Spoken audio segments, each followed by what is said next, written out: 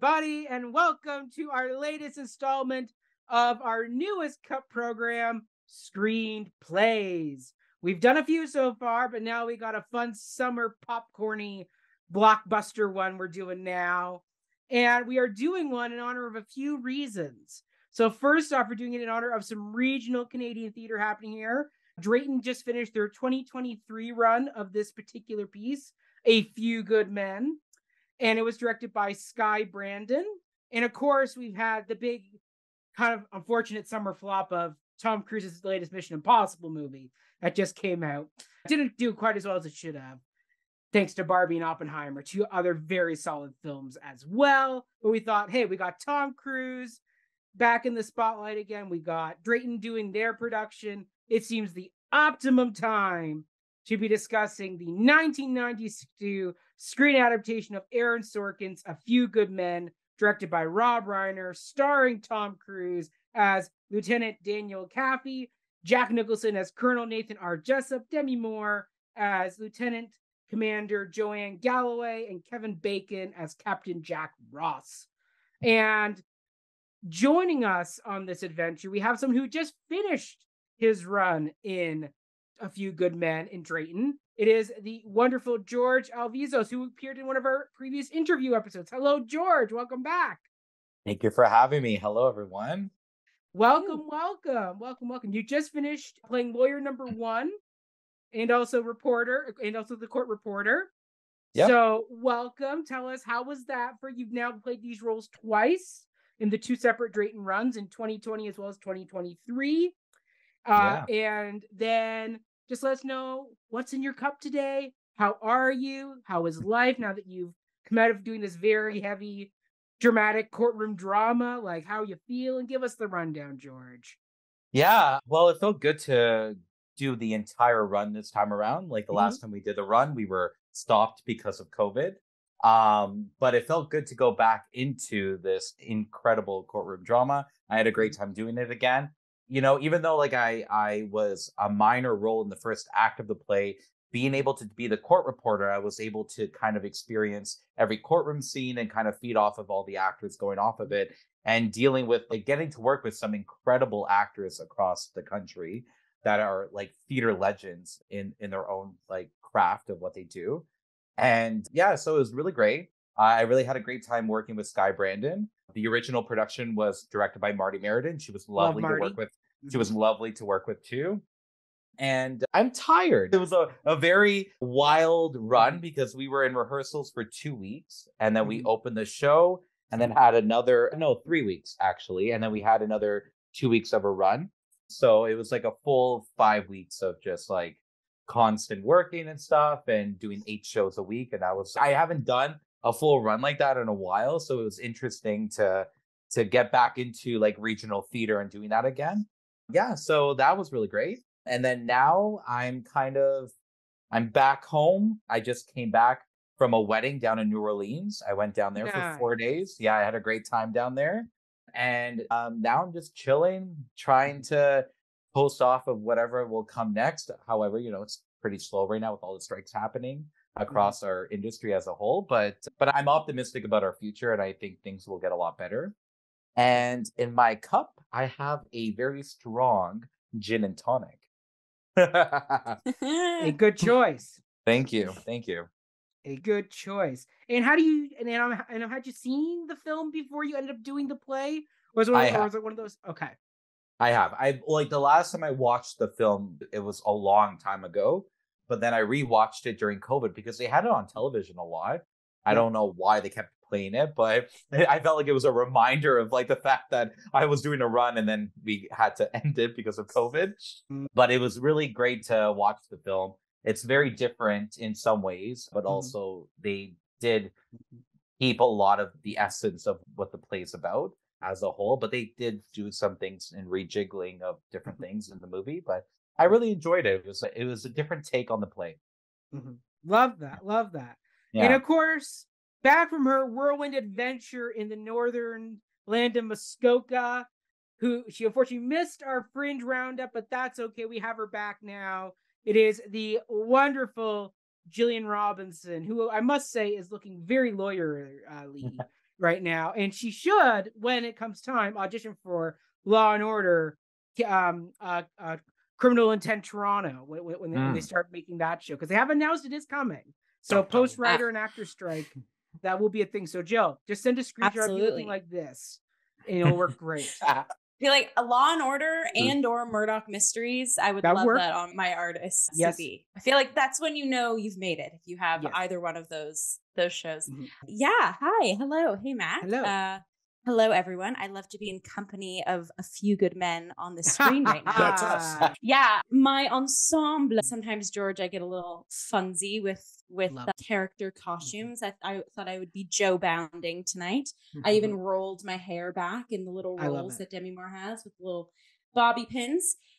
And uh, yeah, my whites, but the blazer on top. I'm mm-hmm. ready mm-hmm. to to argue yeah, it's been a whirlwind of a summer, as Mac was saying. I, I, had the pleasure of being in a new panto musical under the direction of Autumn Smith up at Gravenhurst Opera House.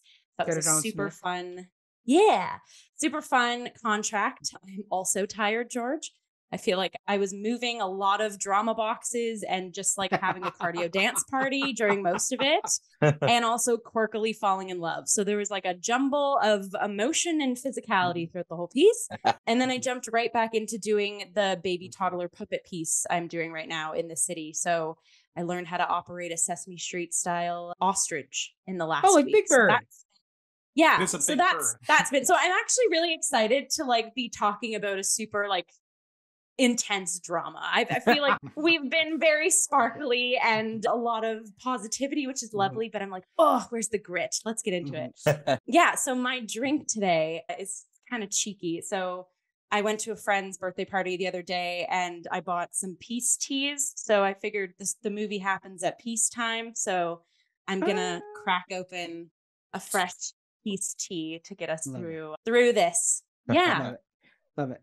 All right, awesome. Thank you, Jill. 10 hut to you. All right. And then, of course, we have my wonderful co artistic producer, Ryan Borochovitz. Hello, Ryan. Hello, Ryan. How are you? I'm all right, Mac. How are you doing? Excellent. He's a big Tom Cruise fan, everyone. So he was very happy when this came out. I don't know. I like Tom Cruise just fine. I wouldn't describe myself as a big fan. Not into the whole Scientology thing, but like, yeah, he's been in a lot of good movies. What can I say? Uh, much like him, I my ensemble and like Jill, I suppose I'm wearing my whites mm. because which I, have dachshunds on yeah, them. Yeah, they have they have tiny little dachshunds on them. Um, but yeah, if any Cubans across the other side of the wall want to take a shot at me, clearly I'm someone important. So yeah, yeah, I love that. And, that's and a guess, great that, that's a great sequence. yes, and I suppose in my cup, I have in my the cup cup. Hey, that's mm-hmm. the show you're watching right now. I am drinking a nice cup of Lieutenant Daniel Kaffee. I got some coffee.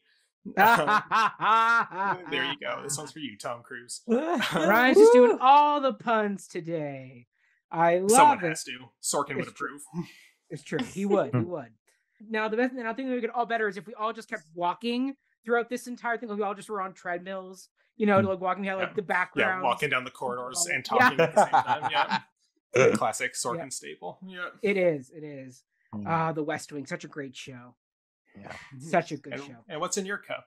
Well, today I am drinking my classic tangerine grapefruit crystal light. Mm. And I am wearing my red, white, and blues. Ah, uh, America. Yes, America. Ten hut to you so what do you say we get into this piece? I mean, sure. it. I, I, mean, I mean, this was kind of in the heyday of Rob Reiner. For people who don't know Rob Reiner, he started off doing All in the Family. He was Meathead, Archie's son-in-law in that show. Great show, solid writing in that show. I just watched a really good episode all about uh, of that one. But then he went on to direct, and his dad's Carl Reiner, who was very good friends with Mel Brooks, hmm. and he did this is Spinal Tap he did Princess Bride, which is one of my all-time favorites. And then the 90s, he started, he, he did this film, then he did Misery with Kathy Bates, he did Stand By Me. Like he was on a run. And this is where Rob Reiner kind of flexed his courtroom political muscles a bit because he because if you look at his filmography, he does them all. Like he is one of those great, well-rounded directors of of film and TV. Mm. So this was a solid Rob Reiner kind of classic dramatic piece. But let's give our overall thoughts about this film, general impressions. would we recommend this to, to friends to watch on TV or to, you know, to rent or stream? And, you know, Jill, as you are the most militarily dressed of all of us, I feel like you are the perfect person to kick us off this time around. Mm-hmm. Great. I'm the superior of the group. Yeah, okay. You are. Don't get any ideas though. As I Okay, yes. Overall thoughts and impressions about this film. I really enjoyed it. Mm-hmm. I'll start off saying that.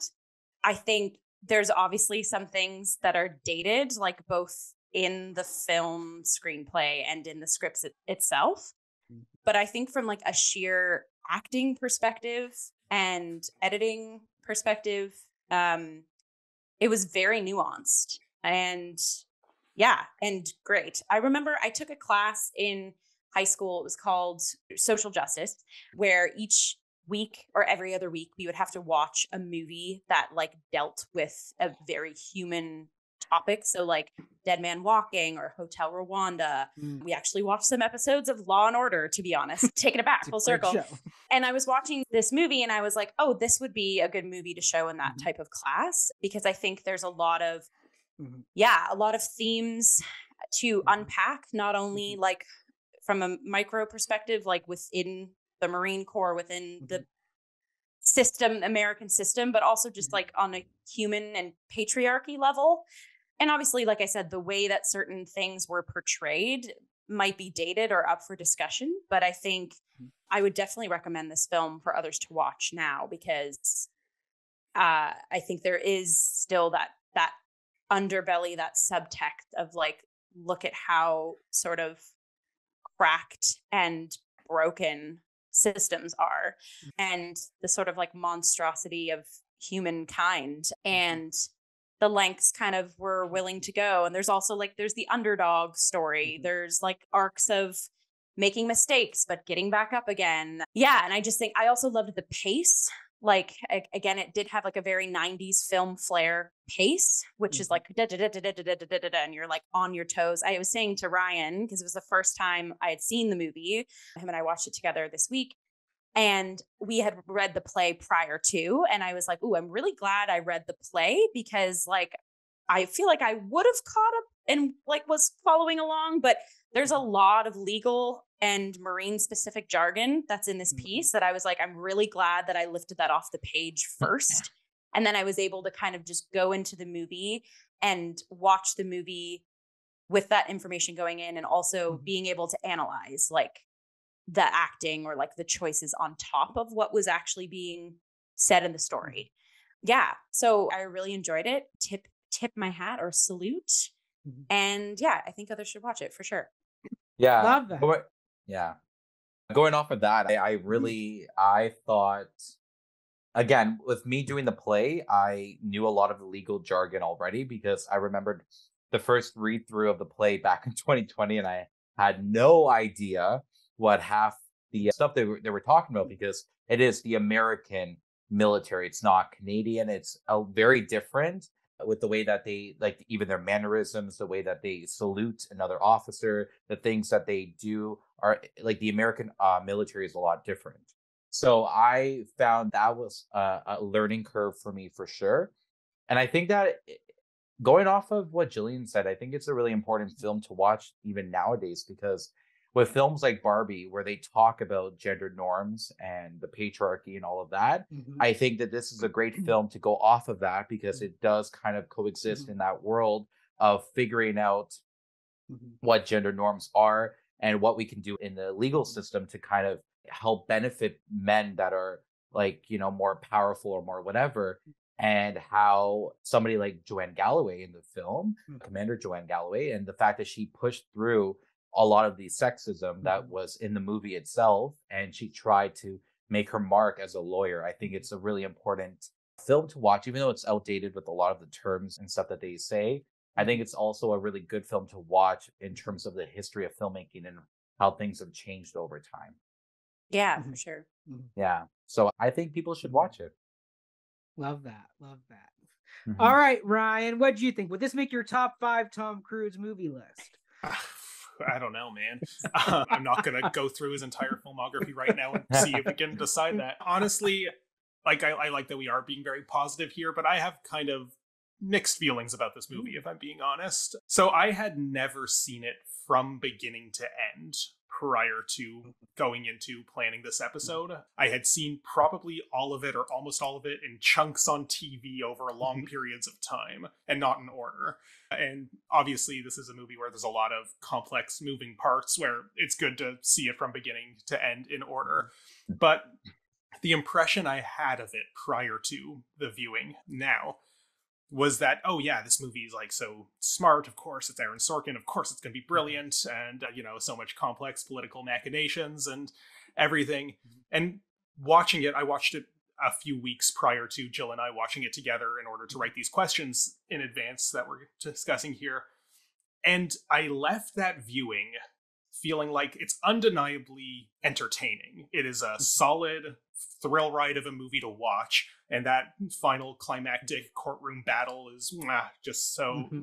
fun to and exhilarating but yes of course and for those watching on youtube you can see it right over mac's shoulders there but i left the end of the movie kind of just feeling like what are the questions i'm going to write about this like for the to mm-hmm. facilitate this discussion and it kind of occurred to me that i feel like this movie was shockingly unthought provoking for me. That was the takeaway I had for it. It feels like it really wants to be thought provoking. It's raising all these questions about morality and honor and hmm. following mm-hmm. orders and having a code and truth and justice in the American way. But trying to crystallize that into, but what exactly does it want us to discuss? Mm-hmm. What points does it feel like it's raising in conflicting arguments? It really didn't feel like it had as much to say as its posturing that it does to me. And, you know, I, I look forward to us having this discussion mm-hmm. proving mm-hmm. me wrong about that if we can indeed get two hours of mm-hmm. very stimulating discussion out of it. But I don't know, to me, like Colonel Jessup is just such a cartoonish villain character that I don't really feel like the movie's taking his side seriously. And I'm not saying it has to, because I disagree with his side personally, as we will get into in a later question. But he kind of just felt like a cardboard cutout villain that Jack Nicholson's acting elevates, but doesn't necessarily seem like there is a debate being had here, even though the structures of the courtroom gives the illusion of a debate. I, I don't know. And I guess to go back to the sexism stuff that was just brought up, because, yeah, if, to me, there was a lot of this casual sexism being thrown around by people like Colonel Jessup when he says his very crude remark about a woman you have to salute, which I won't repeat here. And uh, and also from our hero when you know Lieutenant Kaffee says that he's so turned on by uh, by uh, Joanne, you know, ch- chewing him out for being unprofessional. And I get that's not like oh we love him. This is an indication that he's got some growing up to do. Mm-hmm. But like it felt this kind of very 90s casual sexism that didn't really mm-hmm. seem like it was being interrogated by the movie itself. I think mm-hmm. it's very much a time capsule of the culture at that time. But if I look at a movie like Silence of the Lambs, for example, from the same period, where the camera really takes the men to task with mm-hmm. their male gaze, and I didn't really feel like Rob Reiner's directing or the, the cinematography in mm-hmm. this was as critical of the male characters. It was just mm-hmm. hoping that maybe you'll recognize the innate sexism of the statements being made mm-hmm. and recognize that when Jack Nicholson does it, he's bad, but when Tom Cruise does it, is oh, you've got some growing up to do. And the, it just, I don't know, it really felt like this is dated in a lot of ways. I, I would be curious to see like a stage production. Unfortunately, I missed both of the Drayton runs to see like what do we do with this today? Is it very much treated like a product of its time? I don't know, George, if you want to comment on this, or is there mm-hmm. ways of updating it? And maybe some of the later questions will get into it if you don't want to fully unpack it here, but I leave that to you.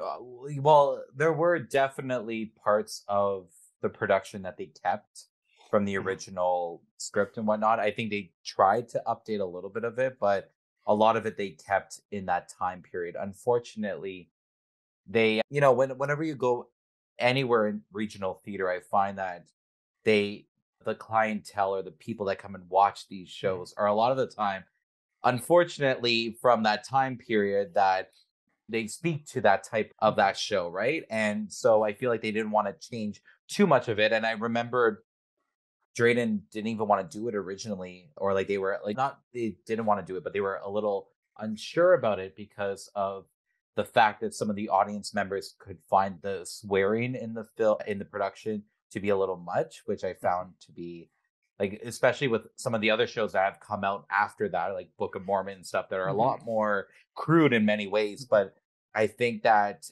it's it was probably they were trying to keep it as a product of the time because mm-hmm. of the audience itself. But yeah, like there were definitely like moments of the of even the play that I did that I was like, oh, yeah. do we have to do we have to do that part or like words or things that people would say in the script that I'm like, mm-hmm. I don't know how I feel about that. But yeah, it's definitely a, a very outdated script. I think that you know, Aaron Sorkin has a way of writing a lot of his stuff in general. And I think that mm-hmm. it, you know, people always like bash on a few good men for the fact that it has a lack of female characters. Mm. and it's true in many ways, but it's unfortunately the way that the script was written that it was just mm-hmm. like literally all men and one woman in the mm-hmm. entire in the entire main cast, right? So it was like really interesting to watch that when they were when Drayton did that show because I'm like, well, you know, in in the climate that we are now, I thought there would be they would be a little weird to do a cast that was majority like majority men, but yeah, I don't know. There was definitely parts of it that I think are really good to talk about, but I, I get your opinion about it being very outdated and very also it can be a very long film for a lot of mm-hmm. people if they don't like that courtroom stuff. Yeah and like I, am into that kind of courtroom, you know, yeah. battle of wits. And I did like I, I prefaced all that with I found it very entertaining and I would yeah. recommend it on those grounds. But it was less of a thinker than I expected it to be, and I found yeah. that disappointing. Like I don't know. We'll unpack I, as we go.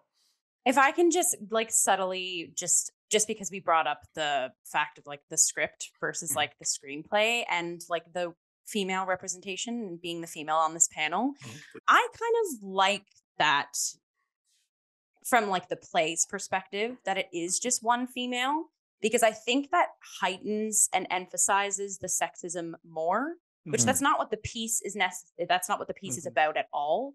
But when you have one female on stage and the rest are men, when that one female speaks or when there's anything said about that one female, you can't turn it, it it's not forgotten. Mm-hmm. So I think like doing this play, which we'll get into obviously in more questions, but just doing this play now and obviously keeping to to the script as is. Mm. I will say too, I don't think this is a script where mm-hmm. it's like, let's totally rework a few good men and make everyone female. Like that is not that would not serve the story one bit. That would go that would nope, that's not yeah. a thing.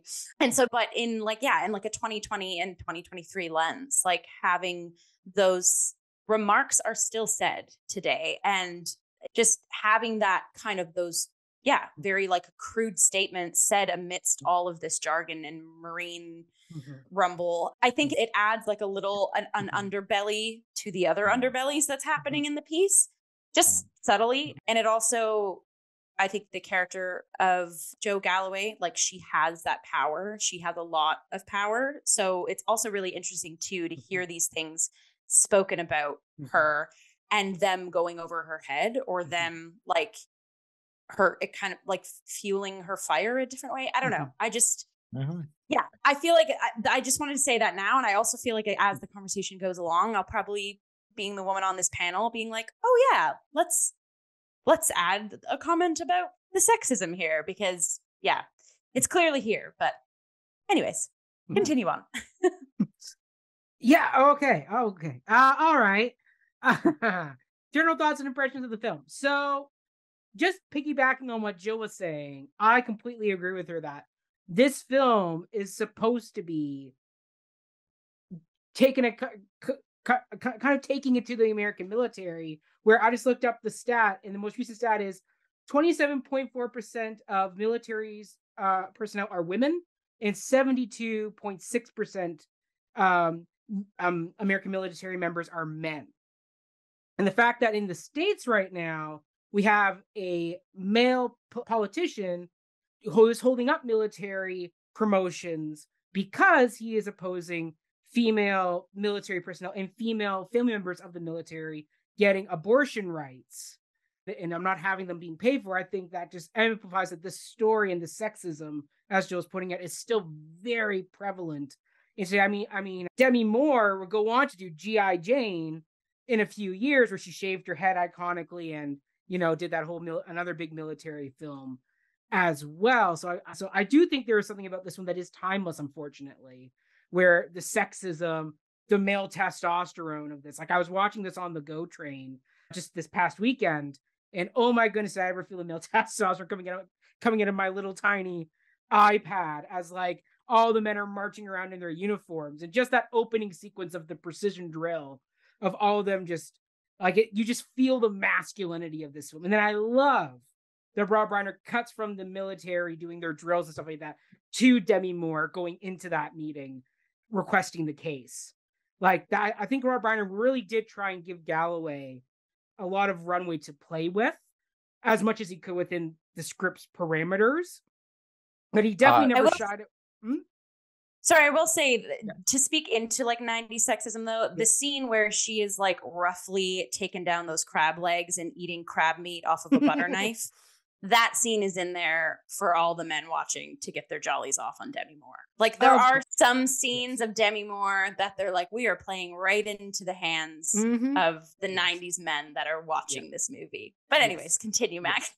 yes. And that's exactly like this is one of those films where it is dated. I mean, the fact that we have that horrible Jack Nicholson line where he describes Tom Cruise's white dress uniform in a very derogatory way. Uh, like, like I don't know, George, did your production keep that line as it is?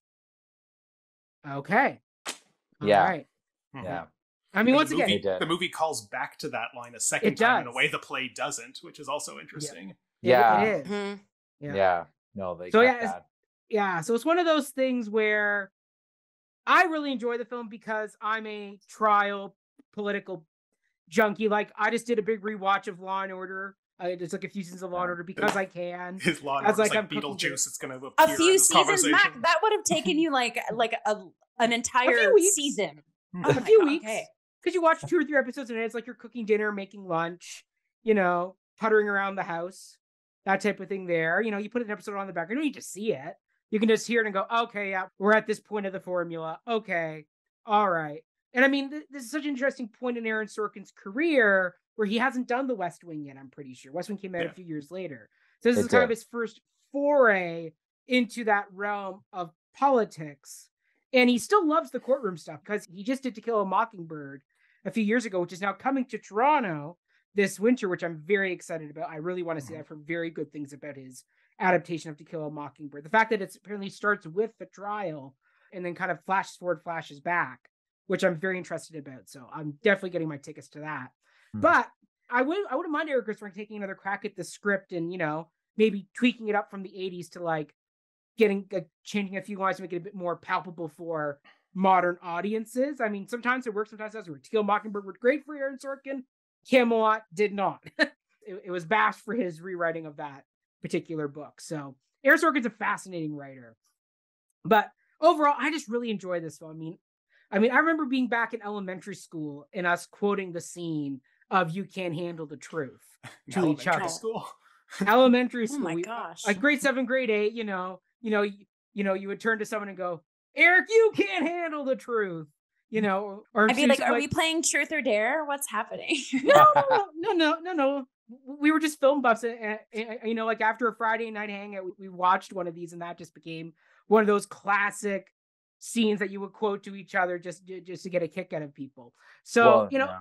It, right because it's just it's so and the movie does it i mean i don't want to say hammy but it is very big that scene i mean tom cruise and jack nicholson just lay into it and just there's yeah. no subtlety at all but it no. works i mean it's so iconic i mean jack nicholson is on screen for what 10 minutes but it's one of his most but it's like one of his most iconic like hmm. roles that any like uh, I, I go to anybody and say you can't handle the truth you know most people i guarantee you like nine times eight times out of ten they'll know the movie for that one. So you probably mm-hmm. don't know the rest of the movie or anything that leads up to the movie but it's great i mean this is just such a, i mean rob reiner put together such such a star-studded cast which we'll dive into yeah but yeah i mean I, I mean i recommend this film to anyone. I mean, like, I mean, if you want to go on like a big kind of like trial junkie you know, like marathon, this would be in there. The Verdict from the 80s is another really solid one. Jodie Foster and The Accused is a very hard film, but a very powerful film to watch. Got her Oscar. To Kill a Mockingbird, 12 Angry Men. Like this definitely is up there in like my top five like trial courtroom drama movies. Yeah. Or, uh, go for it. No, I just wanted to say, like, even in the stage production, every time that Benedict Campbell said you can't handle the truth, the entire audience would like clap for him. That's, like, like every, that's why we oh, came. Oh, yeah, yeah. that's it. Or, or, or, people would be like, ah, yeah, there's the line. And I'm like, oh yeah, my like, he God. Truthfully, yes. and like ev- almost every show. I imagine playing that role on stage is kind of like a Stratford actor doing to be uh, Hamlet.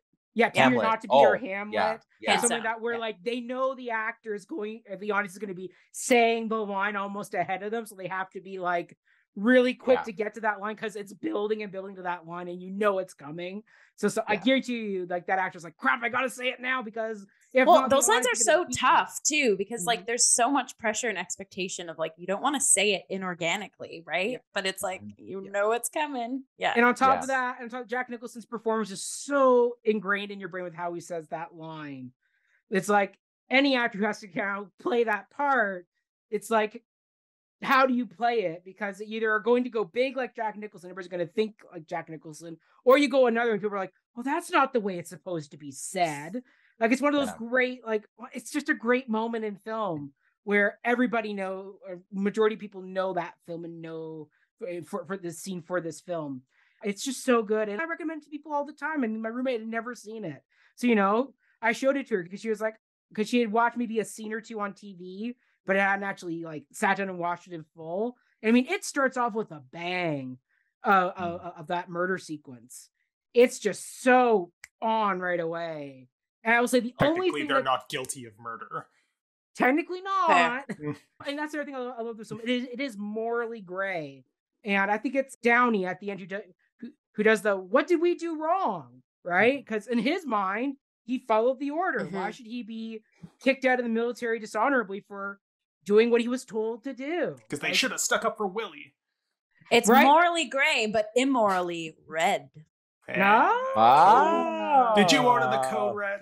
also, I love it, George, you're that you're wearing a red, red hoodie. I am. cold yeah. red, cold red. Yes. Red sweater. Well done. there you go. Um, but you but know, yeah. you know, but I find it really like I love the beginning of the film because mm-hmm. in the play mm-hmm. they start off with Downey and Dawson actually saying like what they're charged with and like what mm-hmm. they're what like that and it goes directly into Kaffee and Sam talking at the beginning Mm-hmm. But in the actual movie, they mm-hmm. start with the murder and it goes into like this like huge military mm-hmm. mm-hmm. sequence. And then the first major actor you see is Demi Moore, which I thought was really cool because they changed a little bit of how the beginning was, mm-hmm. like the opening of the film was going to be like. And I really enjoyed that. I thought it really showed the military in a really cool way. Like the different choreography yeah. that they did for it was incredible.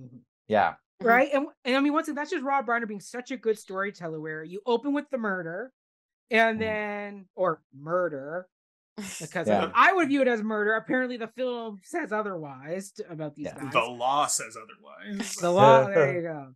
Either way, so, so so so yes, you open with that, but then right away you cut to that precision drilling, which right away tells you exactly the world you are in and the world mm-hmm. these men are coming from and it set it tells you right away the world that Demi Moore is walking into because then you get the precision uh, marching band in there too. Like mm-hmm. it mm-hmm. tells you so much right away about this system that is that like in the sandbox we're going to be playing in. It's yeah. brilliant nonverbal storytelling. But the only thing that bugs me about this film is that end credit music because it ends with this Tom Cruise walks out of the court and then da da da da da da da da. It's like okay, hold on, did I enter seventy six trombones and like the Music Man? Like, what is this marching band music again? Like, find another piece of music, Rob Reiner, not the marching band. I think, honestly, though, Mac, I think that's clever. I didn't even think about uh, that tonal shift, but like, it it it's bookends. So just, we'll we'll, we'll yeah, get into yeah. this in further questions, but yes. I have mm-hmm. something to say on that as we mosey on. Forward. All right, bookmarking that for later. But let's get yeah. into the cast because this is an all-star cast of mm-hmm. stage mm-hmm. and screen. And you know it's a Rob Reiner movie because Christopher Guest shows up in a supporting role. And if, if, people who don't know who he is, he was in This Is Spinal Tap, and he was the man with six fingers in Princess Bride. He is just one of those great character actors who shows up and does a bang up job. And I was looking for him because I forgot he was in it. So he doesn't get my shout out, but he's really good. But let's give our thoughts on the cast. Who did stand out to you? George, since you have just done this show and you've had this very incredible cast that you've worked with, who stood out to you in the film and how, you know, like, like, what, like watching them do this film, did you have the flashbacks and go, oh, my guy did a totally different take and did it better? Or like, what was Kevin Bacon doing here? This isn't the way we interpreted the role. Yeah. You know, that type of thing there. Like, well, actually, well, actually, I there were moments where I did not like the acting. Mm. So I okay, so like when I did the play, I found that a lot of the actors in the production let the moments actually kind of happen. Mm. Whereas in the film, I felt like a lot of the moments were really rushed and people were like like mm-hmm. lying through the dialogue, which I understand why they were doing that. Mm-hmm. But some of the parts I found were a little wooden in like the mm-hmm. way that they kind of did it, but there were other parts that I really enjoyed. I of course I think Tom Cruise was really good in it. You know, he was a very young heartthrob actor at that time. So you could tell that he was, you know, he was at his prime at that moment. Mm-hmm. Do I like mm-hmm. the guy? Not really. I don't like Tom Cruise that much, but whatever. but uh, you know, Demi Moore, I was really impressed with how she did uh Commander Joanne Galloway. I think she in essence really played off of the men in the cast and I mm-hmm. think she really fought, knew how to fight back in a very nuanced and very great way. I'll also, you know, like Demi Moore is known to be a beautiful crier. That that was her thing in Hollywood. So there was like some moments where she had like some breakdowns where eh, she just like her acting was really good in that. but um but no, I think she did quite well. I wasn't a huge fan of Dawson or Downey. I kind of found them to be I don't know, like weird at moments, like they were awkward, but the guy the people that we had for the stage show, they mm. actually brought more life into the character I found. And yeah, Kevin Kevin Bacon, he was okay, but he was not my favorite. Jack Nicholson for sure, he was he brought a lot to the role and he made it iconic, I think. So yeah, probably Jack Nicholson and Demi Moore were the two that I really. I thought were the best out of all of them but mm-hmm. that was my own opinion. Love it. Ryan? I love Kevin Pollak. Kevin Pollak's great as Sam Weinberg in this. Mm. I don't know. I just think he's like every time he opens his mouth, it's both funny but also has like a serious undercurrent to it. I think mm. he handled this like kind of side character who's still quite important pretty well. I guess you have to talk about Tom Cruise. No, I, I, I, well, I like you, are, you are his biggest fan. yeah, clearly. no, I thought he's very good in this. I think he like I don't know. I think there's weird things about this movie, the play it's based on, the character of Daniel Kaffee, but like I, I think we spend way too much time concerned with his daddy issues, which feels like unrelated to the rest of the plot. Um, but I think you know he sells this role very well. He's good in like the you, you know in the oh you were a young man who has grown up to do opening parts and then we do see him go through this arc by the end where he is yelling on the stand there. I think he sells the role very well in the first scene we see of him where it's like, well, who's the right man for the job? And then it cuts to him being immature on the baseball field. but then when he's having the conversation with the other lawyer about uh, what, arrested for possession of a condiment, that we you know, it's a lot of it is in the writing too, but in Tom Cruise's performance, he really sells the you think I'm just being immature and not really caring about what you're saying, but I have the sharp legal mind and I am like three steps ahead of you, opponent. I am the smart character in this Sorkin scene because every Sorkin scene will have a smart character and a dumb character, and that's the entire like skeleton key of his dramaturgy. But yeah. I, yeah, like, but he, he sells it well. Like, this is very tough dialogue to handle with ease, and he does it with ease, and I think that is something that is worthy of a shout out, regardless of what people think of him and the way that his life and career have developed since this. Yeah, I Jack Nicholson, everybody knows he is like the big highlight of this movie, even if he's barely in it. I don't feel the need to blow smoke up his ass anymore. This is such an this is such an iconic role of his and in a very storied career like that. That's not nothing.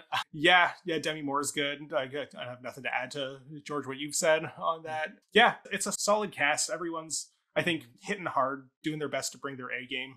Mm-hmm. Others can comment if there's other people I've left out that they'd like to mention. Jill? Yeah. Okay. I have two that I definitely want to shout out. And mm-hmm. obviously, I'll start. Uh, Tom Cruise isn't of the two, but I'll start just kind of mm. piggyback off of what Ryan and George have said as well. Yeah, this just it's like dripping in Tom, young Tom Cruise charisma. And like Ryan said, mm-hmm. like he attacks the text with such ease. It's I went into reading the script knowing that the role was played by Tom Cruise. But when Ryan and I read it, mm. I read for Kaffee and like as I was reading it off the page, I was like, okay, this is like Tom Cruise. I could totally see Tom Cruise playing this. And I think he did a really good job of transferring mediums, like taking this character mm-hmm. and then bringing it to film. I was like, this is exactly how I read this character on the page. And you are playing him exactly how he should be played on the screen, mm-hmm. which is like really, was like a really cool thing to, to explore or to be exposed to. And okay, yeah, so that that covers Tom Cruise. Before I go into the two I want to shout out, mm-hmm. I am, was a huge fan of Jack Nicholson's performance. Mm. I'm not gonna mm. lie. I know hot take, Jack, don't mm. hate this Jill, but like hey. I I think it was blown out of proportion for me. Like I had spent so many years not seeing the film until like I said, like this past week. And like that court scene is iconic and it is amazing. But I don't know. I like, as I was reading it off the page, for some reason, I kept picturing Anthony Hopkins as him. I and this is not to say this. because Anthony, Silence of the Lambs is a better movie. Yeah, well, I have also haven't seen that movie either, though, right? Like, so I know, I know. Melissa, just relax, relax. I'm busy. I'm literally a working actor. Sorry. Um, okay, so back to so obviously I would like Anthony Hopkins and Jack Nicholson have played kind of similar iconic, like, right, like maniacal monsters in their career. So I guess that was kind of like my fault for kind of tagging Jessep in Anthony Hopkins' light. But I just, I wanted him to be more of a monster. And I totally mm-hmm. pick up what Ryan was saying earlier of how he is kind of like this cartoon villain. But that beginning scene to me, like when he's talking to Kendrick and it's Markinson, right? Yeah. Yeah. It just it's it fell flat for me and I was like this is the man that it has this massive sort of like explosion in the court scene and it wasn't until they met with him in Cuba and he's like smoking a cigar and says the very like disgusting remarks to uh, Joe and team that I was like, okay, there's the like ty- tyranny that I want. And so I mm-hmm. guess it's like part of it was like, okay, cool, there's a character arc, there's a growth. But I just found, and even in the court scene, like I wasn't afraid of him. And I think with this character, like there is a lot of pathos, there's a lot of brokenness, there's a lot of damage that this character has gone through and that society has placed upon someone of his rank and status but I just I wanted to be a little bit more spooked, like almost like a little bit more agency, mm. which is yeah, it's interesting. And again, I mm. think it's only because it's such an iconic scene and character that my expectations were like super super high. An amazing performance and like yeah, garnered her him some like amazing roles, I mean awards, but yeah, anyways, that's on Jessep. Okay, the two things I two people I want to mention that I loved Kevin Pollak, yes, Ryan's already said, but for the mm. same reasons. I think he's so talented. I remembered him as we were watching. I'm like, oh my God, he plays Laney Boggs' dad in the 90s movie She's All That, which I loved yeah. watching as a kid and a teenager and he's like this mm-hmm. super like silly dad who like mm-hmm. watches Jeopardy in his like board shorts and gets all the questions. Like he's hilarious in that. And then to see him in this role, I love how everyone knows what I'm talking about. That makes me so happy. Yeah. But in this scene, yeah, in this movie, like there is that contrast. Like I mm-hmm. love watching movies where I've seen an actor in their like comedic mm-hmm. element, but then like to see them, yeah, to see them bake in those like darker dramatic tones on top mm-hmm. of already being the comic relief is like, I love it. So tipping my hat to that. My standout, I think even more than Kevin Pollak, was Kiefer Sutherland as Kendrick. Mm. Because that character is the scariest character for me because mm-hmm. his morals mm-hmm. are not changing.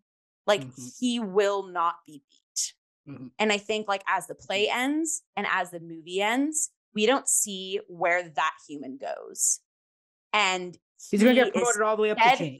no, Kevin Bacon's gonna go arrest him, and that's yeah, that's one of the exactly, last lines. Exactly, exactly. but like he's steadfast in like there is no getting inside of his psyche, and I think mm-hmm. Kiefer Sutherland did a wonderful job of like when he says the moment of the two books by his bedside are like the handbook and the mm-hmm. Bible. I was like, Yup. And those books are never leaving your bedside, you know? Mm-hmm. And I just think it was like such a subtle, anytime he was on the mm-hmm. stage, he was just dripping in in like yeah in kind of like the darker hues that being a part of something like the marine corps paints you in even when they're like walking down the hallway he's catch me up he's the one that brings them to the evidence room yes he right? does when they're walking down that corridor and he's leading that charge i'm like get out of the way because that man is not moving for you. You know, mm-hmm. like I just think he did a really good job of physicalizing, again, mm-hmm. characterizing that that character from the text mm-hmm. to the screen.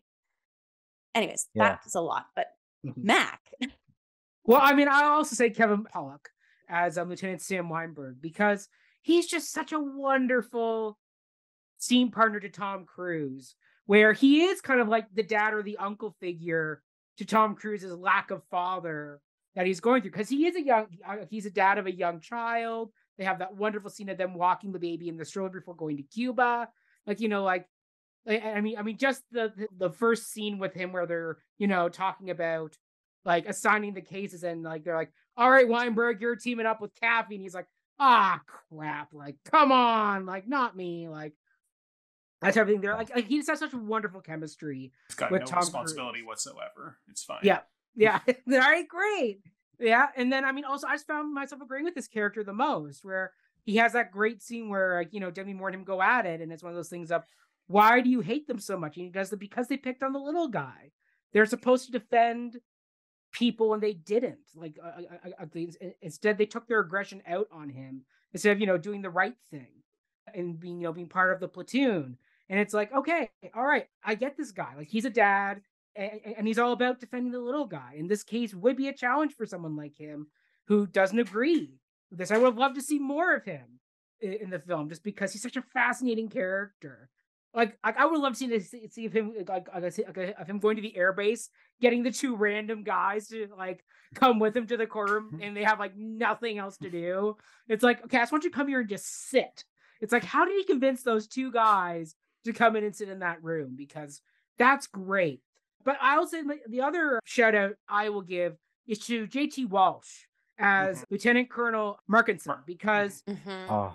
he does so much with so little because you got Kendrick over there who's like scene chewing villainy on one end. You got Jack Nicholson on the other end who's also like scene chewing villainy, cigar smoking back in there. And you got him with his great kind of 90s, late 80s glasses and just like kind of like the all the president's men like shows up in the back of the car type thing there.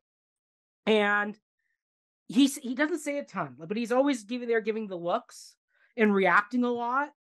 And he also had actually worked with jack nicholson doing hoffa which came out the same weekend as a few good men which pissed jack nicholson off about the movie was that this big oscar winning movie hoffa was supposed to be his big break. And instead he gets remembered more for a few good men but JT Walsh did that. And actually, he died a few years later of a heart attack. Mm. This is one of his last roles that he did, but he just had such a presence. And, mm-hmm. you know, when he unfortunately completes suicide, you get the guilt. He really does show the guilt of what he is living with, of being the morally right guy in the room, but he's got two kind of, you know, obstructionist, old school macho men of Nicholson and Kendrick there who are, you know, going to steamroll him because there's that whole backstory of he's kind of always been nipping at what's his name, Jessep's heels but Jessep got the promotions over him. Probably because mm-hmm. Jessep played by the rules a bit more and played and played the political and, and played the political game more because he was less moral than than uh, Markinson was. So it's a mm-hmm. fascinating mm-hmm. dynamic there in that, and I just yeah. thoroughly enjoyed his performance and just the tragedy of that role that he ultimately doesn't get to get, take the scene actually take it to Jessep. Yeah, I I think I I do think that Markinson is a, a extremely underrated character. I think mm-hmm. it's a very difficult role to play, even on in the stage production. Mike Sarah, mm-hmm. yeah, he played it. He played the role and he did the part very well. And then the original 2020 production was Jim Mizon who played mm. Mar- Markinson, and he did a very good job with that too. But it's a very difficult role because mm. it's a guy who is morally he knows what happened is mm-hmm. wrong, but he cannot handle the guilt anymore mm-hmm. and like what he does with it. So it's really it's a really pivotal and a really important character to have in the film. Mm-hmm. And I'm glad that mm-hmm. they kept that story arc alive because I think it's really important. Yes, agreed. Yeah. Agreed. All right, let's get into our favorite production or design element of the film. Ryan, would you like to go first on this one? Sure. I quite like the costumes that mm-hmm. everybody wears all the times here because well one i think just in general military uniform regalia everything mm-hmm. they're wearing all the time has symbolic meaning and what mm-hmm. they choose to wear in a given circumstance and like i'm not a military person obviously by any stretch and i'm sure a military viewer might even read more meaning into these things than i'm capable of doing mm-hmm. but like I think there's just a lot really going on here. The fact that an important piece of evidence in the case mm-hmm. turns out to be the whereabouts of a certain character's clothes mm-hmm. means that there has to be a lot of attention to detail put mm-hmm. on this. Mm-hmm. That there's an exchange in the climactic scene of the trial about, you know, I'm gonna read a list of your clothes, including the colonel's underwear. I hope that's not a matter of national security. Like the clothes just feels so central to the narrative and the mystery and what's going on in all of this. And like in particular Tom Cruise's costumes tell a story as he matures as a character that he's always wearing this very unconventional clothes. He doesn't respect the uniform, and then as it goes on, he becomes more and more invested mm-hmm. in what he's doing, the task at hand, the rule of law, the trial, and his formality grows with that in his costume. So yeah, I'm sure there's a whole other little things we could pick at costume wise, but in general, I'll just put mm-hmm. that out as a blanket statement that I think the costume was very well mm-hmm. chosen with good attention to detail. Mm-hmm. Very good. Very good. George?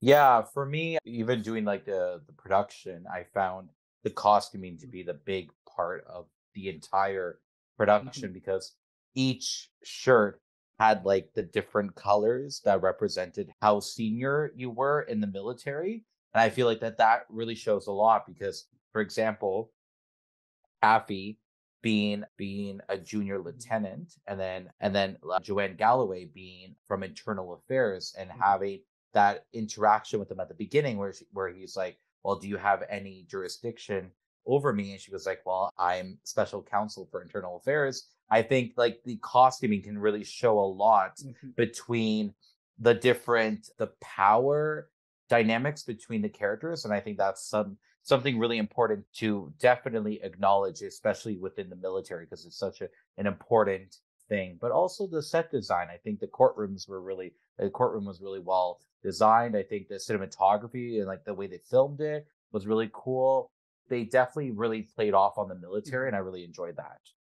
Mm-hmm. Yeah. This is what the inside of a courtroom looks like. Mm-hmm. Mm-hmm. mm-hmm. I will piggyback off Ryan and George and say the costumes yeah. as well were, were one of my nice shout out just because once again, I, I remember there was an interview with Meryl Streep where she talked about how she had just done Doubt and Devil Wears Prada. And she talked about how doing a role where the outfit is so important because wearing the nun's habit a certain way, the way you put it together, was so critical to the role. It's the same way with the military. There is only one way to do this right. And just that scene, Markinson dressing himself mm-hmm. for his death. Once again, it's the attention to detail. And you, eh, I mean, Rob Reiner would only feel comfortable showing the close ups of the buttons going on, the gloves, the sword, the gun, all that stuff. If he had full faith in his costume designer of, you have given me the right buttons, the right jacket, the right shirt, the right gloves, that I will not get, you know, like lambasted if I eh, eh, if if it's like the wrong thing. And so the costume designer did a fantastic job with living up to that standard because people will know if like, you know, Kevin Bacon's wearing the wrong stripe on his arm to represent who he is, or you know, any of these roles, like because military role, like a, a, title and all that stuff, plays a big role in, in, the hierarchy of how this all plays out. So you know, it's but very you don't important. need a patch on your arm to have honor. No, you took it. No, oh, I was just going to say that. I'm sorry, got to be quicker. I was being patient, but you know uh, what? I'm I, speak out yeah, in this room now. Who's got time for patience? I'm going to stand up and I'm going to maybe make a mistake in court, but then figure it yeah. out in the next time. Yeah. Um, yeah, yeah, I was just gonna say that, like, how mm-hmm. awesome does that? I didn't even think about that till just now. Like, it mm-hmm. hits home that line that mm-hmm. Kaffee says to Dawson: "You mm-hmm. don't need a badge on your arm mm-hmm. to have honor." And it's mm-hmm. like, even it's just it just hits home again, like how restricted and containerized. I don't know if that's a word, but it is now. That these I like containerized better. We're gonna stick with that. Yeah, like all of these characters mm-hmm. are and in real life, like they restrict so much so that humanity is kind of at the wayside, right? Yeah. And I'll say my other thing, just because we did costumes a lot, I'll say that my other big thing is just Rob Reiner's direction of this film. Because once again, courtroom dramas are very tricky in the sense that they are very static. I mean, that's why they work really great as a setting for a play, you know, because it's a bottle uh, episode type thing where like you're in a very tight space. The uh, you have the chairs, you have the desk, you have the stand, you're good. On film, you got to find a way to make that dynamic enough that's going to keep the audience actively involved. And I mean, I mean, and also in the military alone, everything is very color coded, very kind of. It's not flashy. You're not you're not gonna get the big flashy fancy sets and it's because it's government, it's military, it's cold, it's stoic, it's sterile, it's containerized.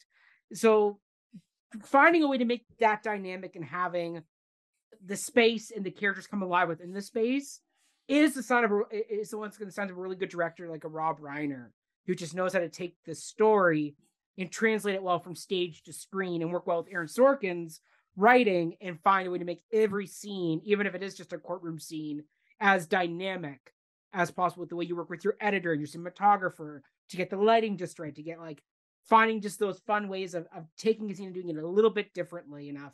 That's going to be dramatic and keep the tension without being like, okay, here we go, we're back on Corman again. He's going to take the stand, another question and answer type thing. Like every time a new person comes up to that stand, it's a different dynamic that he's got the, the actors playing out. Like, uh, like the way Kendrick answers and does his examination is completely different than the way the doctor does it compared to like I, I forget like who the base guy is, but where it's like, do you know where the mess hall is? It's not in the book, but do you know? Hmm. Like every yeah. one of those exchanges, thank you. Yeah, but like every one of those exchanges is dynamic in its own way and is shot in a bit of a different way to give everybody a chance to react and show a different thing. It's really hard to do, but Rob Marshall did uh, Rob Marshall. Rob. Reiner did a terrific it's a court job. Marshall, not a Rob Marshall. there you go. Ha ha. Uh, well done. Joe, I, is there, hmm? sorry, George? No, I completely agree with you. I think the stage production is so simple with the way that they mm-hmm. kind of uh did the set design as a whole because there wasn't a lot of change mm-hmm. overall. Like they changed it a little bit. But in the film, it was great to like see like Cuba and to yeah. see like like all of the like them going to bars and the chain like them in a car like doing different things that were very mm-hmm. different from the play mm-hmm. it felt like the movie kind of moved a little yeah. bit as where the play is kind of felt like mm-hmm. it's a very static location mm-hmm. that mm-hmm. you have to try to find ways to make the acting really great mm-hmm. so that people feel like the story's kind of moving along right yeah yeah, yeah. exactly wonderful yeah. jill is there anything else you want to add yeah, of course. Yeah. So mine actually wasn't wardrobe, although, oh. yes, I stand by that absolutely plays directly into the piece and it's executed beautifully on the screen. Mine kind of piggybacks off of you, Mac, like under mm. the umbrella of direction, but I would say probably more so in like the editing and the cinematography. And I want to talk about it through the lens of the transitions in this movie. I think the transitions were impeccable. And when I say that, I mean like in between the very like Eddie scenes, which basically this movie is sewn together with those scenes, but the transition moments of showing the mon- monuments, like showing the all of the things in the National Mall, right? And it's just mm-hmm. like you see the yeah, the Washington Monument, you see another statue, you see the Abraham Lincoln Memorial as like a transition thing and it's a reminder of like this story that's happening now is it, it's like a macro reminder of like mm-hmm. pomp and circumstance usa usa mm-hmm.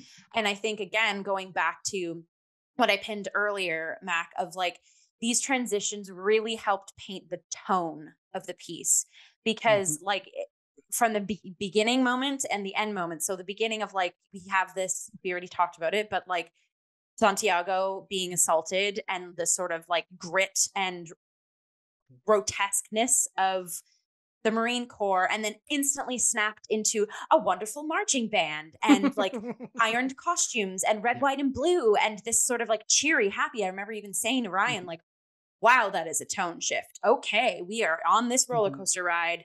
We just went from a drop to a twisty turn, you know what I mean? And then like I didn't even think about it, Mac, but at the end of the movie, it's kind mm-hmm. of the same thing. It's like you have this really stoic, intense closure of you just taken in all of the meaty moments that happen in that courtroom and then mm-hmm. you're taken off with like a little marching band mm. thing and i think again it kind of satirizes what's going on and how mm. like it's it is all pomp and circumstance and we are still having these issues today even even as i pointed this out to ryan like one of the transitions before they go into joe sam and um Kaffee having one of their many nights of Chinese food and unpacking mm-hmm. the case, they show the exterior of their house. And mm-hmm. it's just like a street a, a, in American civilization, yep. but the color of the house bricks are red, white, and blue. So huh, I you noticed that, that, and took us back. And I, I was like, yeah, I was like, that maybe wasn't intentional, but mm-hmm. dramaturgically, I'm gonna point that out because that's mm-hmm. amazing. It's like showing they're still, as much as they want to escape it or debunk it, mm-hmm. they are still encased in red, white, and blue. Mm-hmm. And I just think, yeah, like it's in these no speech and a lot of the time just like mm-hmm. a photograph um, transition that is mm-hmm. constantly popping mm-hmm. that propaganda in the back of your mind as you mm-hmm. watch these humans that are in that space go through this case. Yeah. Yeah. Love that. All right. Mm-hmm. Let's get into the next question, which is a meaty one. It, and it's based on your familiarity with Aaron Sorkin's original play. How would you appraise this film's adaptation of the work? So, George, since you have just literally come off doing this show, how would you appraise this adaptation? And is there anything you would take from the film and bring it back into the stage show that wasn't there, or vice versa, that you wish had been translated better from the stage show to the film? Yeah. So for me, the big one was Markinson because, mm. for example, in the uh, stage production of of A Few Good Men, I found like Markinson was never he never actually talked to Kaffee after their initial meeting in Cuba. He mm-hmm. sent a transfer order to Kaffee that he got from from the Pentagon and he mm-hmm. stole he stole with in under gunpoint to an in, like an individual there that was mm-hmm. working at the Pentagon, and he got the transfer order that was actually changed by Jessup mm-hmm. and whatnot. But in the actual film, he never gave him that. He just told him like, "Oh, I, it's not true. Like there's not mm-hmm. there, there's nothing true about that." But there was no evidence at the mm-hmm. time that he gave him. And then the fact that they put him into a motel and they mm-hmm. had him uh, Marshalls. Yeah, it was interesting because I found like for him being doing counterintelligence for such a long time, I would think he would get out of that very quickly, right? Mm-hmm. But the fact that he was like in that room kind of gave up on everything instead of like having the letter sent to the parents of Santiago and actually doing the suicide in it in somewhere that a location mm-hmm. that nobody knew it was interesting that adaptation of it in the film. Mm-hmm. And I found, I don't know if I liked it. I thought that I preferred the original adaptation of it, but I thought because they made him more of a mystery character of like who is Markinson and where is he going next and whatever, instead mm-hmm. of having him in kind of like locked away in one location and for him to kind of break into Kaffee's car was an interesting mm-hmm. um, take on the on the original screen uh, screenplay or uh, mm-hmm. uh, script. But mm-hmm. uh, so that part I didn't really like as much. Uh, it was very different. But also, I did like the way that they kind of separated some of the scenes from like the staff mm-hmm. meeting to other parts of the scene to make it work differently, which is brings me back to my original point of like how some parts were changed with the way that they kind of highlighted one part in one scene and then highlighted a different part in a different scene from the original play. And I thought that worked. And I really mm-hmm. enjoyed how Joe and Kaffee and Sam had their own individual meeting outside of the staff meeting, where in the original play, the staff mm-hmm. meeting was very male dominated and she felt mm-hmm. very attacked by everybody. Mm-hmm. Instead, she was like in her own office. They went in, they talked to her. I thought that was a really mm-hmm. interesting change in the way that they kind of changed the power dynamic because mm-hmm. clearly Joe had more power than Kaffee in that moment. Mm-hmm. mm-hmm. Yeah. If, mm-hmm. if I can piggyback off of Go, George there, Matt. Yeah, yeah, So yeah, I totally agree with you, George. And I, you said this earlier too. The the movie like it almost like allows there to be more life mm-hmm. alongside the story that the play script is like and again kind of just going back to what i just said of the like the mm-hmm. transitions and moments but even talking about it through the role of Kaffee like i like that we kind of get to see him as like an average like all american citizen too right like mm. playing baseball pulling mm-hmm. his car over to the side of the road and buying a random magazine like yeah. and then yeah like seeing joe out of uniform in like a, a fun sweater and jeans as they like unpack the case like i think there was just like more breather room of like, yeah, adding in kind of day to day life of Americans, as well mm-hmm. as like the high stakes situation that these people are having to go into work to every day. So I really liked because I found like with the script, like obviously it's a totally different medium, but and you do need a lot of exposition to kind of get to that final court scene, but there really isn't a lot of like room to paint mm-hmm life alongside or outside all of this going on. So that's I I love that the film kind of gives us that peek into the mm. story as well. I also kind of like, and we danced around this by talking about all these other characters, but I find that this story, like both the script and the screenplay, obviously highlights but doesn't put center stage the underdogs. So I'm talking about like Downey, I'm talking about mm. Joe, I'm talking about Markinson. I'm talking about all these people that like are given a rank, they're given a status, but they have to report to someone or they can't fully understand or they can't fully be themselves. And I think we find that very strongly in Markinson, Joe, and Downey, just to kind of use these three characters as examples.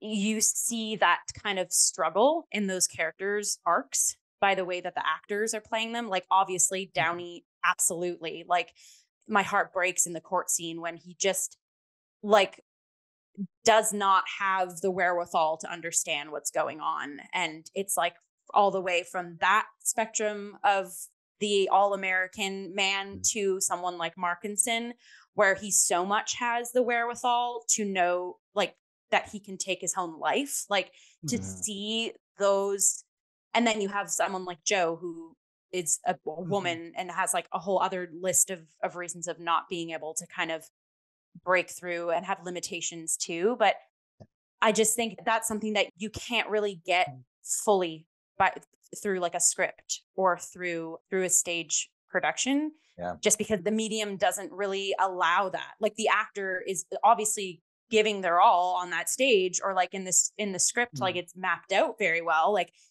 but it's there's something about film that mm-hmm. really allows that to be colored and contrasted because of like the camera lens, right? Like the view that we're mm-hmm. given, we can kind of be spoon fed that sort of those arcs. Yeah, so so I I actually Mm. like I think this I don't say this often, but I actually think it works like better as a film than as a script. Obviously there's wiggle room to do Mhm. uh, both and like some people might disagree, but Mhm. anyways, yeah, that's my thoughts. I'll piggyback off you, Jill, just because I don't know if it's because I came to this through the film first, where the film is just so ingrained, and even when reading the play, I was always a bit jarred with like, oh, okay, we're going it this way, not the film's way. So I found it fascinating that way, and just a exploration of adaptation and how. I mean, we talked about this when we ta- when Ryan and I have talked about doubt in the past, where when you're taking these bottle kind of tight plays and then expanding them into film, it's not. I, I, I can never want to be gratuitous in how you expand it for the sake of expansion, but I found this film's adaptation did a really good job of knowing where to change, do some tweaking. Like Aaron Sorkin knew, like, hey, in this film, I actually can take us to Cuba. Let's go and do scenes in the room, in the barracks, in Cuba, you know, that type of thing there. Let's actually go to to to Kaffee's house repeatedly and see him doing his thing. Let's go to the baseball diamond and hit a, and, hit- and hit some balls because it just creates ba- the more of the world, right? Like it's one of those things of there's such a world outside that courtroom that is bleeding in and infusing what's going on in this courtroom. And by actually going to Jessup's base, uh, like in Guantanamo, like, like like in Guantanamo, like as much as yes, Jessup, I would have loved, as Joe said, a, maybe a bit more intensity and like scariness of Jessup, but just being on his base and seeing them running the course along the fence line, or just the way he moves through his office, Mhm. you got who this guy was and you understood his realm that he was playing in on this remote base on this island where as they say don't wear your whites along the fence line because cubans will shoot at you.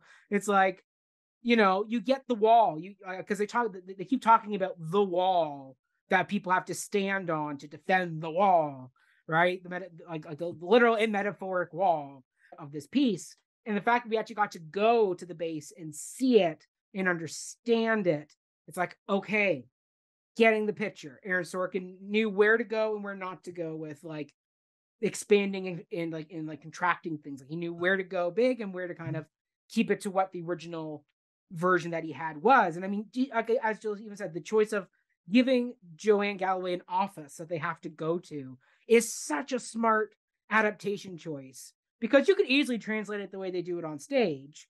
But if you can actually build another set, why wouldn't you? Like, like obviously you got the budget to go for it.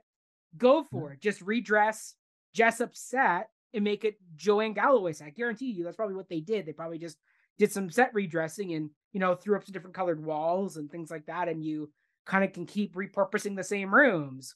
So it's kind of easy to do it that way and just taking advantage of building out these worlds that all these characters are coming from. The fact that we get to walk a street where what's his name? Sam's walking his child. The little detail like that of you don't see the baby, right? You never get to see his baby. No, you just hear about her. They You have the hear same about her. conversation, I think, inside Sam's house as opposed to with Yeah. the stroller on the Yeah. side. Yeah. Yeah. George, please correct us. It's much fresher Yeah. in your head. yeah. Yeah.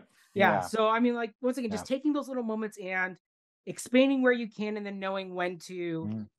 keep it tight and not gratuit- gratuitously expand something for the sake of we got the budget, we got the space, let's just go big for the sake of going big. It's like no, Rob Reiner and Aaron Yeah. Sorkin knew how to like like where to go, like where to go, like where to go big and where to like hold the cards. So I thought that was a really good adaptation. And I think once again the film's just going to be first on my brain at all times.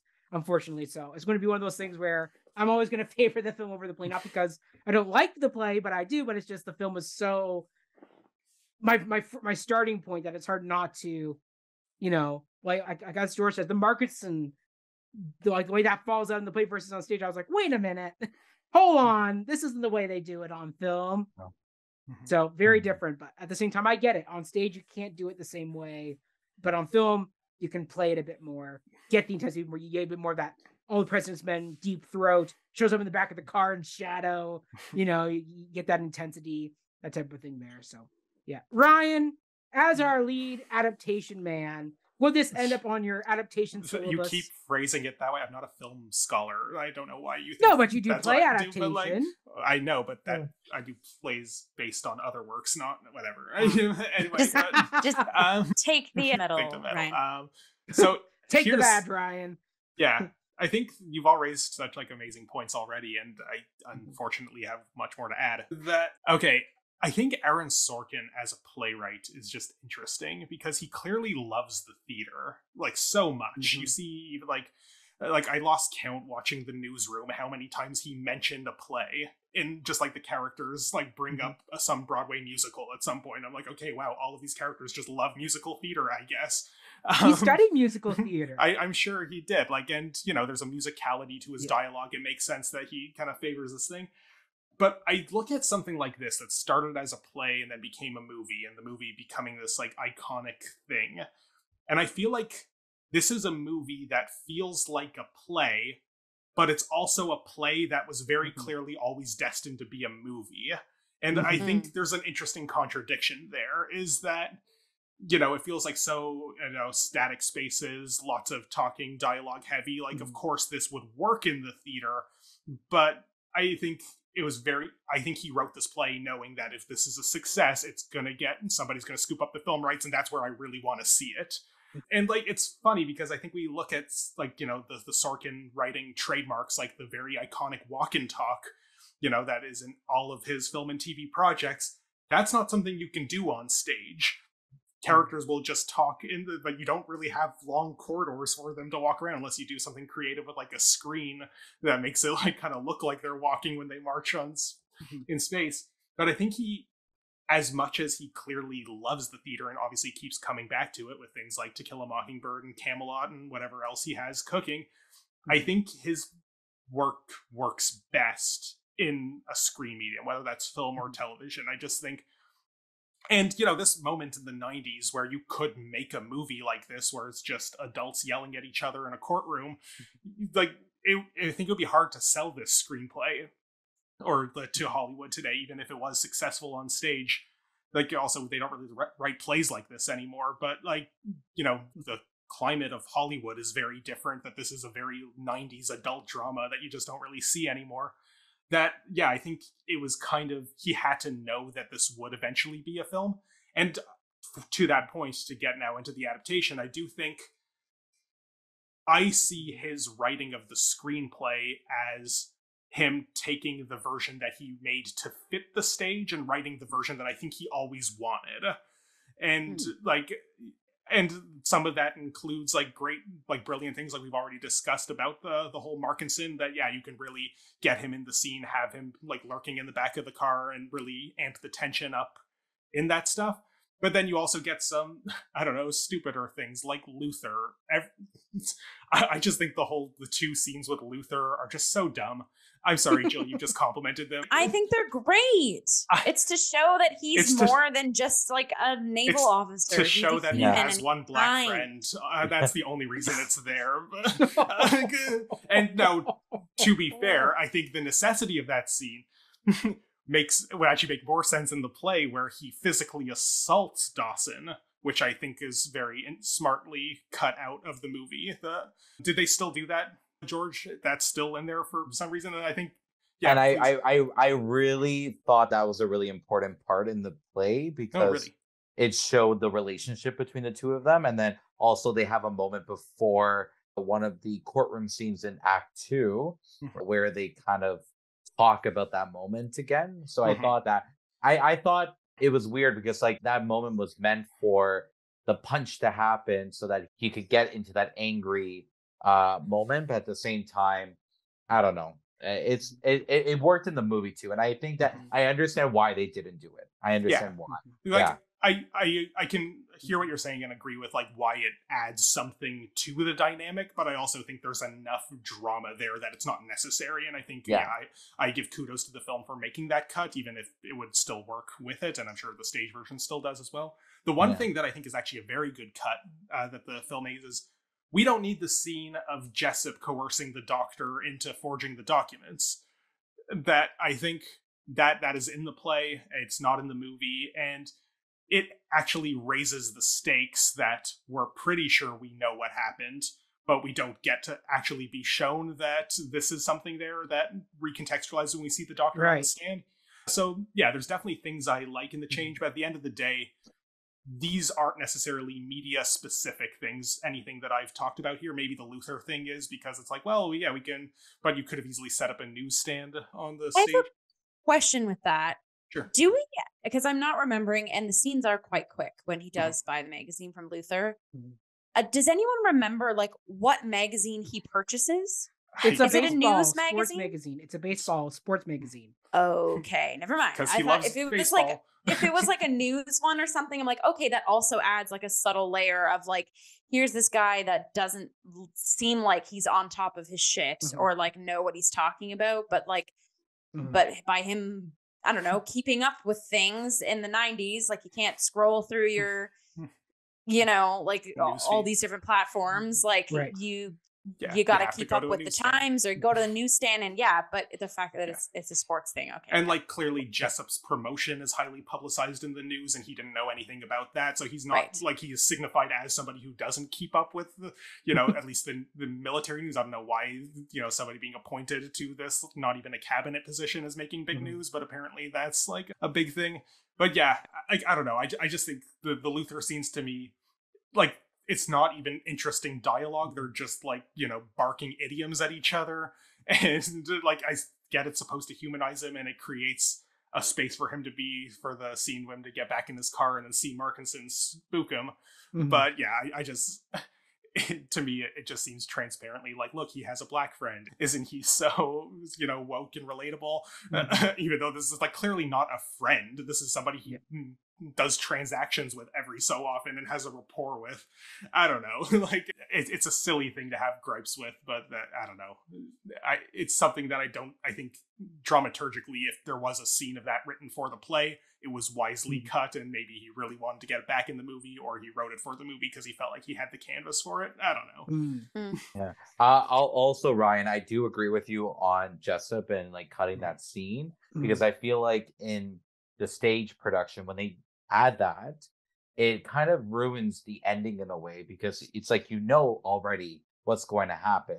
And it's just a matter of like how they get there. But at the same time, it's it, it adds an element of surprise a little more by cutting that scene all together and just continuing with the storyline. I feel like mm-hmm. it, it's a really smart idea for the film adaptation. Hmm.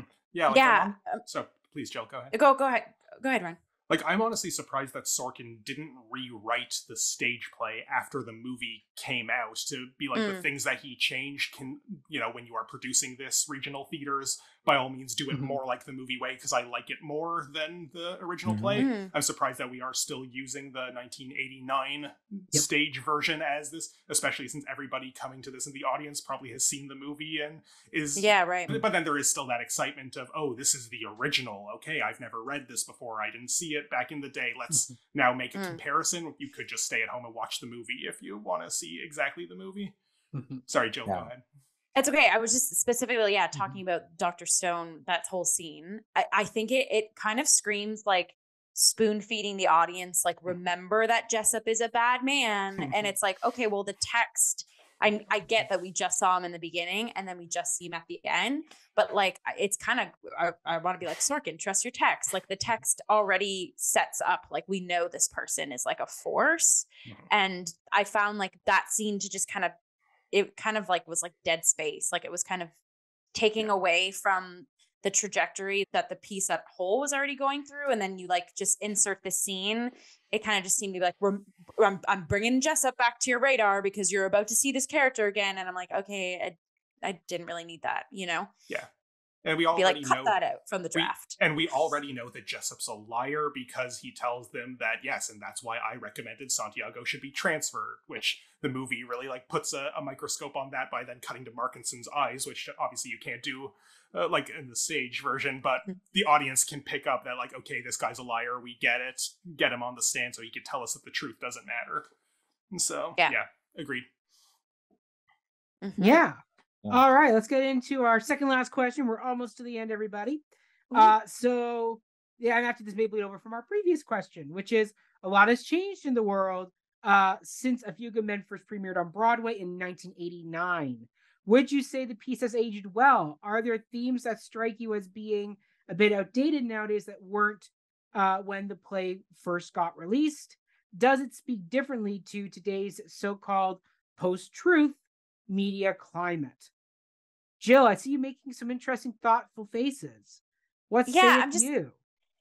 I just think like a lot of this question, I feel like we've we've kind of unpacked and mm-hmm. danced mm-hmm. around through through our other answers. Um, and I think just like to kind of put a mm-hmm. cap on on what I've said already mm-hmm. is, I think both this movie and the mm-hmm. play like should still mm. be watched and considered in the climate mm-hmm. that we're in right now because like i had mentioned earlier mm-hmm. like these systems still very much exist and mm-hmm. versions of sexism and versions of patriotism that are different from the 90s mayhaps but are still alive and infesting and infecting cases and situations like this so i think yeah, like there's like anything that's kind of done in the past and mm-hmm. revered in the past mm-hmm.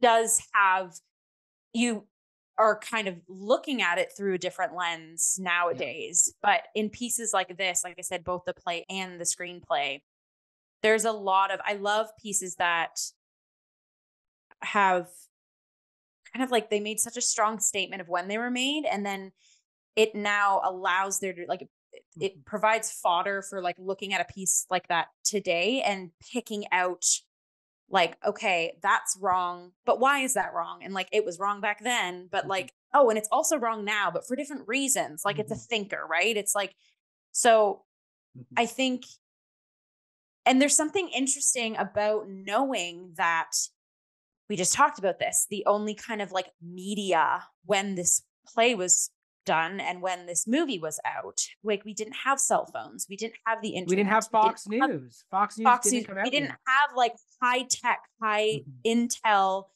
devices or technology like like maybe like right we didn't necessarily have uh, um video cameras or like digitized like ai way of operating the Marines, right? Like they're referring to the Marine handbooks. Like now, obviously, all of that is encased in a computer and like, you know, and so it's interesting mm-hmm. that these themes still exist today and the humanity of the piece still exists mm-hmm. today. And it's mm. actually kind of like spooky to know that still exists alongside all of the mm-hmm. media and technology advancements. Mm-hmm.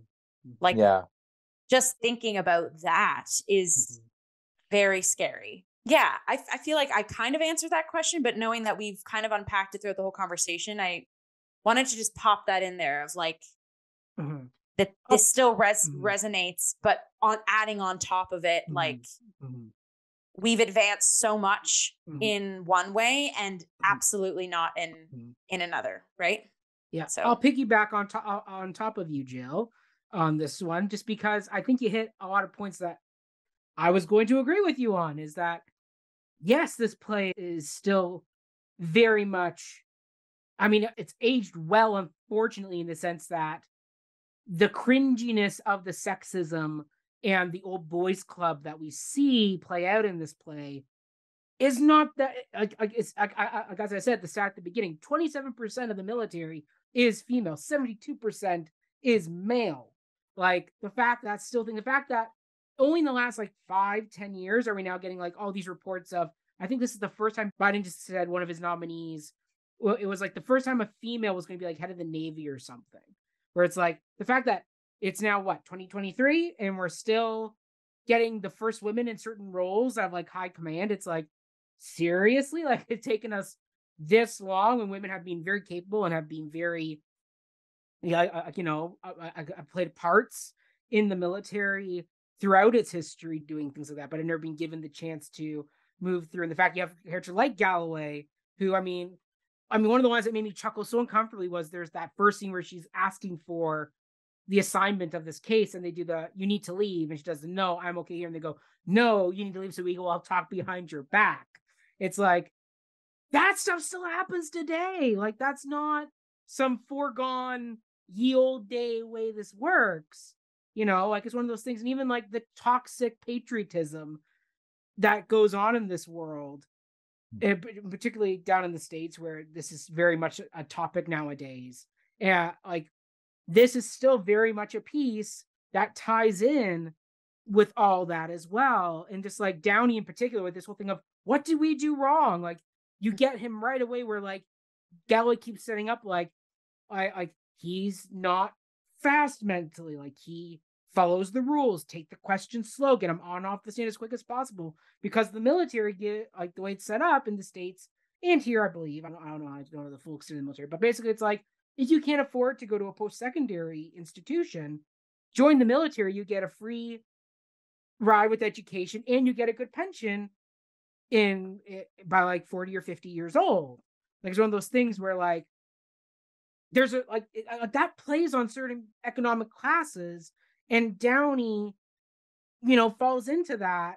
And it's one of those things where this place still has a lot to say about the military. I mean, I was just reading up this today, uh, uh, like on my way back to the city, is back in 2017 or sorry, 2016, they announced plans to do this as a live TV play, basically, kind of in line with like with Jesus Christ Superstar, Sound of Music with Carrie Underwood. Mm. This was going to be one of them, starring Alec Baldwin as Colonel Jessep.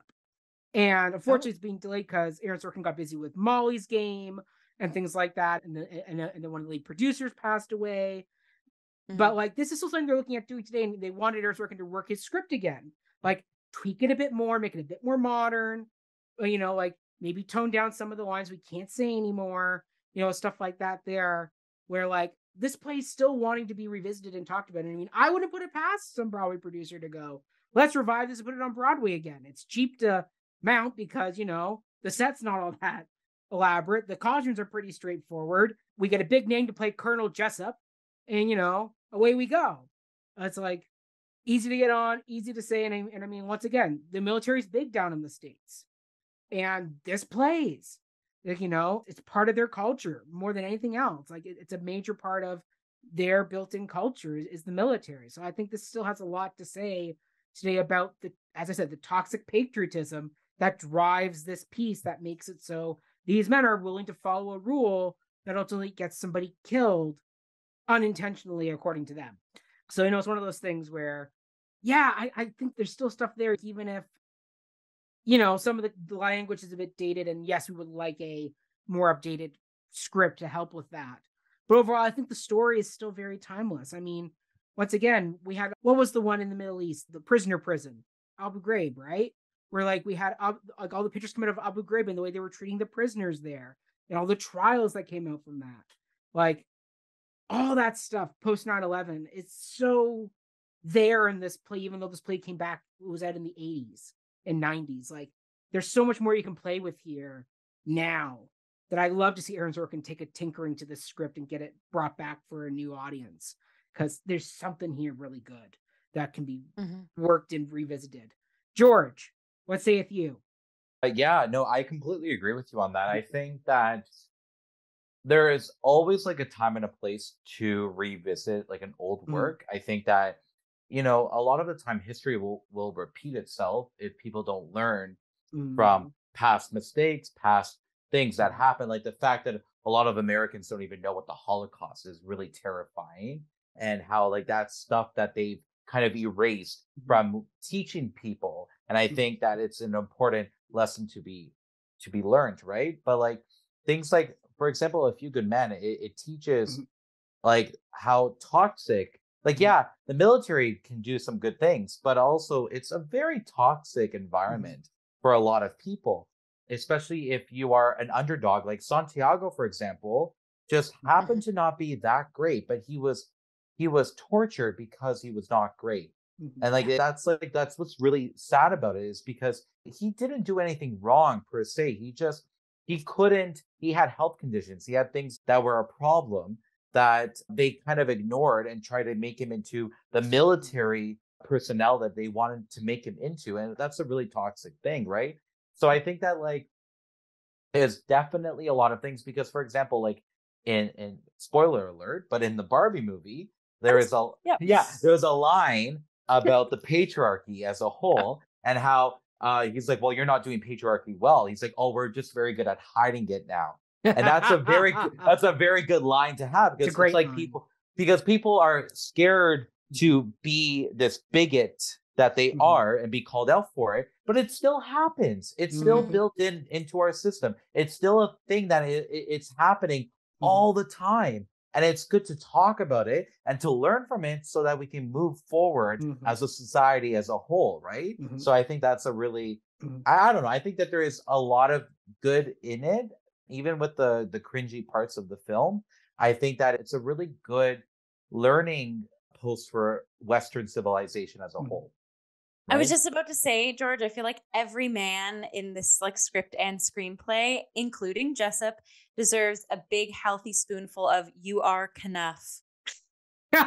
definitely. Definitely. Mm. Because like are- I think that a lot of them have like there's a lot of toxic masculinity and a lot of mm-hmm. things that they touch on that is still very prevalent mm. in our society as a whole and how people are mm. online nowadays, right? So mm. I think it's still people are just better at hiding it now because they can hide behind a mm-hmm. computer screen and they don't have to mm-hmm. ta- uh, talk to a person face to face. But it mm-hmm. there are still people that use those words. There are people that mm-hmm. still are very um, demeaning to women. There are people that are still very mm-hmm. they, they're just very crude in the way they talk, mm-hmm. and it's still a big problem in our society, especially in the US and in mm-hmm. Canada and mm-hmm. with everything going mm-hmm. on. So it's, yeah, I agree. I think that there's still a lot mm-hmm. there.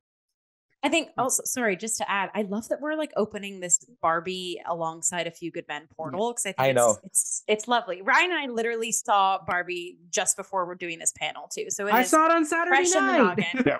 But like, it's interesting too. Like uh, every again, we see this more so in the movie than the than the play, but like mm-hmm. every man in this mm-hmm show in this mm-hmm. film every character comes face to face with fear like it, and, but doesn't necessarily doesn't address their fear doesn't address mm-hmm. maybe why they're scared but like even like look at like ross is doesn't want to lose to Kaffee or I'm like Kaffee doesn't is scared maybe my expectations are not going to like I'm not going to win. I'm mm-hmm. scared of losing. Jessep is scared to back down and tell the truth. Like Downey is You can't handle the lost. truth you know dawson is scared because he knows what he did was wrong but he and he also like there's like this idea of like being scared and being fearful eh, but not knowing how to discuss that not knowing how to open up about that and is that's literally the unfortunate i talk about this a lot in conversations like our men in today's day mm-hmm. and age i feel bad for them especially like people like our parents generation or mm-hmm. just like they have been mm-hmm. ingrained in their heads that they are the breadwinner they cannot show emotion they have to keep trudging forward they can't whatever and they've never been given the opportunity or the openness to express and the only way they know how to do that is mm-hmm. through argument or through violence, you know? And it's like, we need to change those narratives. And like having a piece like this still obviously res- resonates because I think there's also so much you can do with that. It's like these oh, fearful men, and they don't even, their vocabulary is uh, stunted because patriarchy and society have not allowed them to, yeah, to be themselves, to find out who they are without Barbie. Mm-hmm. There's a match Ryan, nobody ever saw coming. A few good. Men. I know, right? Ryan, you want to add to this? Step, this step cocktail? aside Oppenheimer. A few good men this, is the this double bill we should cocktail. yeah. Um. Yeah. I don't know. So much stuff has been brought up. Um. In terms of just talking about general like datedness and the way the world has changed since this came out, it's really interesting that the play came out in 1989, which is quite famously the year that the Cold War ended. Now, mm-hmm. I don't mm-hmm. know timeline wise when this premiered before or after the wall came down, a very different wall than the one that they're always talking about in this. But obviously, he was writing it before the end of that. But certainly, the mm-hmm. movie in 1992, they mention peacetime a lot, Jill, as per your your choice of beverage, more so than I think they do in the mm. play. And mm-hmm. the 90s very much was between the end of the Cold War and 9/11 and the War on Terror. Mm-hmm. This, you know, what Francis Fukuyama called the end of history. That liberal democracy seems to have won this worldwide game of chess, and you know, there's no, you know, nothing that will ever depose it as a, a form of philosophical progress that'll work for structuring society. Like, I, I think it, it's funny thinking about things like Guantanamo Bay that you know, I remember my parents telling me that when they saw this movie in theaters in 1992, they had never even heard of the fact that there was this American naval base in Cuba, that that was news to them. And now we all know about this a lot because in the war on terror, it became mm-hmm. very topical and in the headlines. And like, I wonder just like I don't know if there is a way to update this story because it feels very much like it belongs in that milieu. Like this, it, and in a way, like it's interesting because Jessep's whole argument that we'll talk about more in the next and final question is that like if my men don't follow orders, you know, people will die, and if you wear your whites close to this wall, you're gonna get shot. And like they're acting like there's these hostile tensions that really were not hostile in the moment that this was taking place. Like this was peacetime. Cuba wasn't technically the enemy on paper in the 90s. Like and yeah, like it's it feels like trying to transplant this into a post 9-11 world war on terror context it's a lot more than just a fresh coat of paint. There's a lot of things you would have to completely rethink in that new context. Mm-hmm. and i don't know what the answers to that are. I'm sure somebody could do it but i, I almost feel like we you know this is a famously a 90s movie that doing any production of it that's set in the period is going to you know ring differently when you're like oh right this is a moment in history versus ooh what does this have to say to us now? Like into i guess because the question specifically addresses the post-truth media climate as something that has radically changed here. I like there's very little partisanship present in the plot of this mm-hmm. that it's at the end of the day everybody comes together that we want to know the truth and we think you know that you know even like Kevin Bacon is technically the antagonist here in terms of like the actual battle of wits that takes on most of the plot that can he convince the jury that this was murder and can Kaffee mm-hmm. alternatively convince them that there was no intent because they were just following orders and like the second that Ross, Kevin Bacon, whatever we want to call him, the second that he finds out that, oh no, I was wrong, he's very quick to be like, well, I stand for the truth. And even though I'm completely fucked now, that my hmm. side is completely lost and my who knows what's going to become of my career, you know, you have the right to remain silent, someone who very much outranks me because and it paints this very black and white view of the world that the bad guys will be easily coerced into stating their villainy in front of everyone because at the end of the day they don't think they did anything wrong.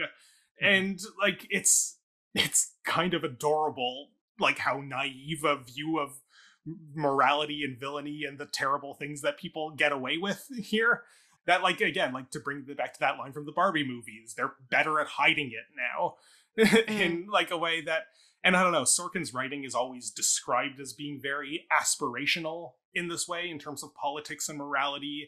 The entire premise of The West Wing is what if Bill Clinton, but no sex scandal? Like, could we just have that, please, during these turbulent Bush years? Mm-hmm. And, you know, it's nice, but I just don't know if it's believable. I don't know if it was even believable then, but it at least kind of fits the general culture of the time but maybe part of my ambivalence watching this today is that like that's cute that you think that we can end with this big shouting match that will get the bad guys to admit that they're bad but like i don't know it just doesn't really seem like it fits or that it's believable as entertaining as it might be.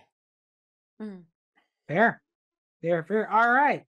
Let's dive in. Final question of the night in the climactic scene, Colonel Jessep argues that matters of national security should be given the right to supersede the rule of law. Got to stand the post, man the wall. What are your thoughts about the philosophical debate raised in this argument? Ryan, since you went last time, we'll let you kick this one off. Well, like, oh, do I agree with the villain? No, no, I don't. Shocking, I know. No, like, yes. I don't know. There's interesting things that we could unpack about this you know, even if we just take the peacetime context that I just brought up, the fact that you know he stands his ground so firmly and that if i if my men don't follow their orders and if we don't have a well trained uh, you know force watching this wall people will die and like okay historically that doesn't even seem to have been the case in this context but even if we put that aside it's you know i guess to quote winston churchill when you know they talked about uh, cutting arts funding to support the world war ii effort. He said well what are we fighting for? So what good is preserving the nation if that nation is not going to hold itself to civic democracy, I guess, is why I don't think that his argument really holds up that I should be allowed to do whatever I want, laws be damned, because I know what's in the best interest of the nation. Obviously, we have these checks and balances that are supposed to hold people accountable it's to take another play turn movie about American history. It's like Frost Nixon, for example. Mm. If the president done it does it, then it's not illegal. Like, okay, but the president has to be accountable just like everybody else does. A high ranking colonel needs to be accountable to the law just as everybody else does. That said, the rule of law is not always uh, a helpful metric of what is morally permissible, as I think we've seen a lot lately in terms of the way that police can inflict violence upon people of color mm. with pretty much impunity, as we've seen a lot of uh, within these past few years, but also throughout pretty much all of American history. And maybe unjust laws need to change, but what we are presented here is a very cl- kind of clear cut situation. And, and again, I guess this I'm going on some tangents here, but to just bring it to the core of the question, I I, I think the law that is being you know discussed here is very much a situation where there are easy answers that you really, you know, shouldn't have led to the death of this person. You shouldn't have mm-hmm. lied about it and doctored documents. So, of course, you are in the wrong here. And yeah, and yeah, I guess going back to what I've been saying since the beginning here is I find at, it's very easy to mm-hmm. agree with the the good guys side of this mm-hmm. because I don't feel like the, the plot structures much of a moral argument and it, it knows what the right thing is and it's not really interested in the morality of it it's interesting in can the good guys prove the truth i don't know somebody else say something and maybe i'll, I'll uh, chime in hmm.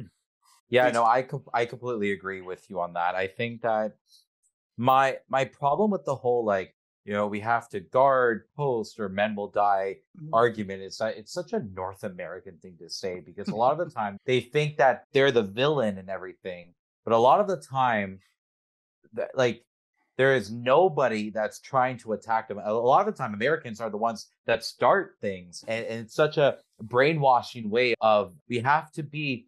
It's the American way. Like the amount of times that they said that throughout the film and even in the play, it's such a propaganda way of going off of like what Western military is like and whatnot, right? So I don't agree with that. And I also think that the whole argument of like people who are above everybody being above the law you see that in so many ways of like how billionaires are treated in on the planet and the fact that they're above the law 99.9% of the time or hmm. like for example even the president like donald trump and the way that he uh, dealt with the election and trying to over yeah and still is trying to overturn the election when it already happened and it was like and it was a thing where he kept hmm. trying to entice people into thinking that it was like rigged and whatever. It, it's like it's a brainwashing thing. I think it's not.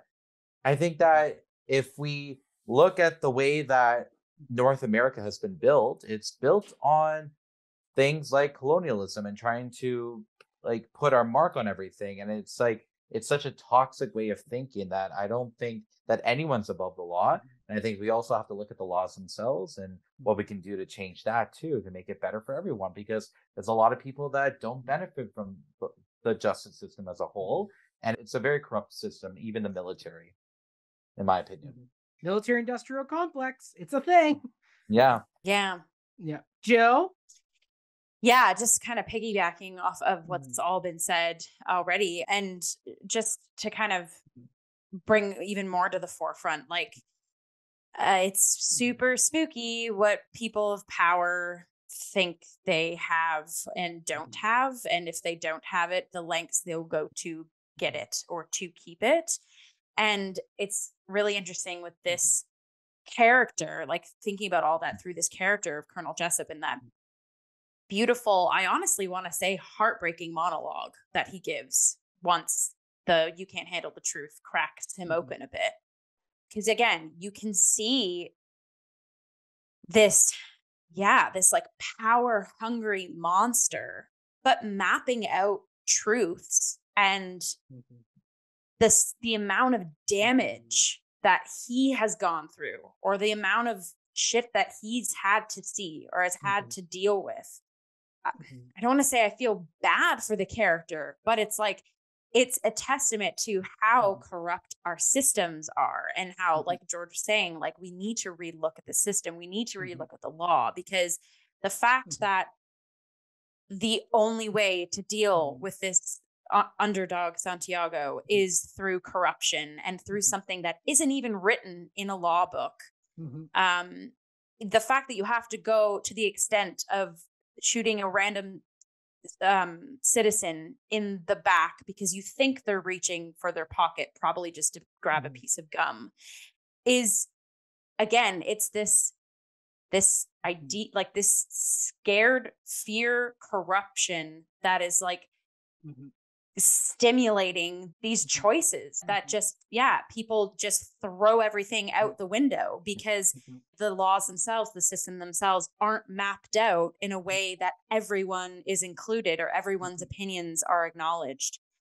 Like it sounds so u- utopic to even think of when that day is going to come when like everybody can fall under the umbrella of the law and feel mm. seen and heard and especially when you have something like in this question of like in which colonel jessep yeah argues the matters of national security should be given the right to supersede the rule of the law it's like these are the people that are supposed to be like protecting a nation mm-hmm. and it's like you can't even protect properly one person mm-hmm. and that's not it's not people like colonel jessep's fault that's like a long entrenched history of combustion and mm-hmm. corruption that needs to be addressed.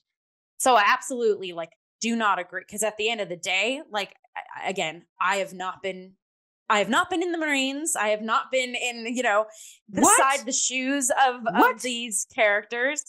But like so violence is never the answer. And it's like I I have the clear mind of thinking like there's other ways of going mm-hmm. about things. But like mm-hmm again, I've never been in the shoes mm-hmm. or in the minds of people who mm-hmm. have suffered mm-hmm. the gaping mm-hmm. wounds mm-hmm. of society and law at, at a scale like that, you know? Yeah, I feel like that was just a little bit of thought soup. Uh, Mac, you want to dip your cracker in that or? Sure, I'll I'll take us out here.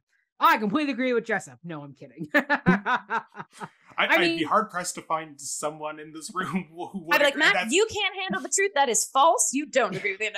but also, like, even if you have the kernel of inclination to agree with, like, you know, national security is very important, and I could understand sometimes things need to mm-hmm. fudge like this movie is a refutation against that argument mm-hmm. so like and it's you know very you know clear in that position that it'd be hard to watch this movie and then leave but you know that monologue is pretty compelling and he, he makes a good point and you know mm-hmm. fuck willie santiago like you, you, know okay. but sorry mac continue so. agreeing with him so so yeah no i mean like once again national like national security is a thing that you know we do need to be vigilant about, but not at the st- sake of people like William Santiago, who, you know, bought into a system because, you know, the country kind of built the system up that you want to join it, you know, because it gives you the free ride of education, good pension, blah, blah, blah, all that stuff.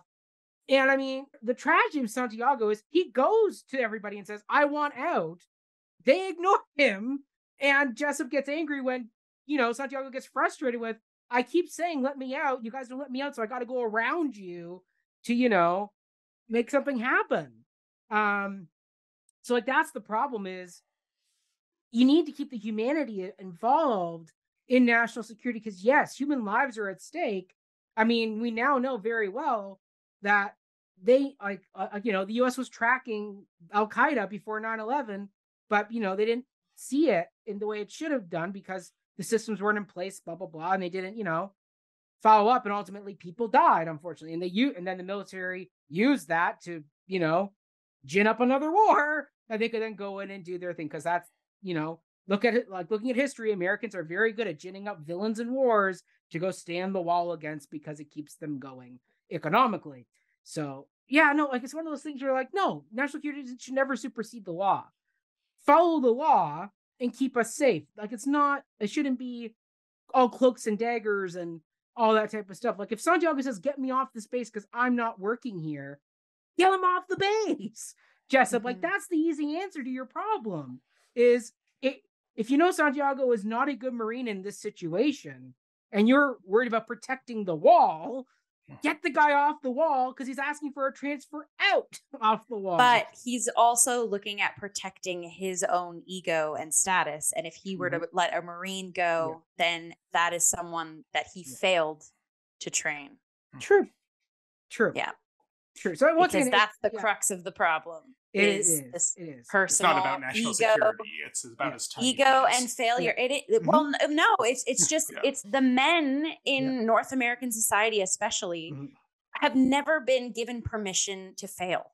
Mm-hmm. Like, have never been given permission to make mistakes. Mm-hmm. Have never been given permission to yeah to be a raw human. They mm-hmm. have to abide by rules or be a mm-hmm. certain figure or factor in society, and then like yeah like anyways yeah go go back yeah. to it mac but yeah so i mean like yeah i mean like the, the film doesn't really give a jessep side of the argument i mean it's kind of set up where you're not really debating it because it's like no when like like william santiago should not have died.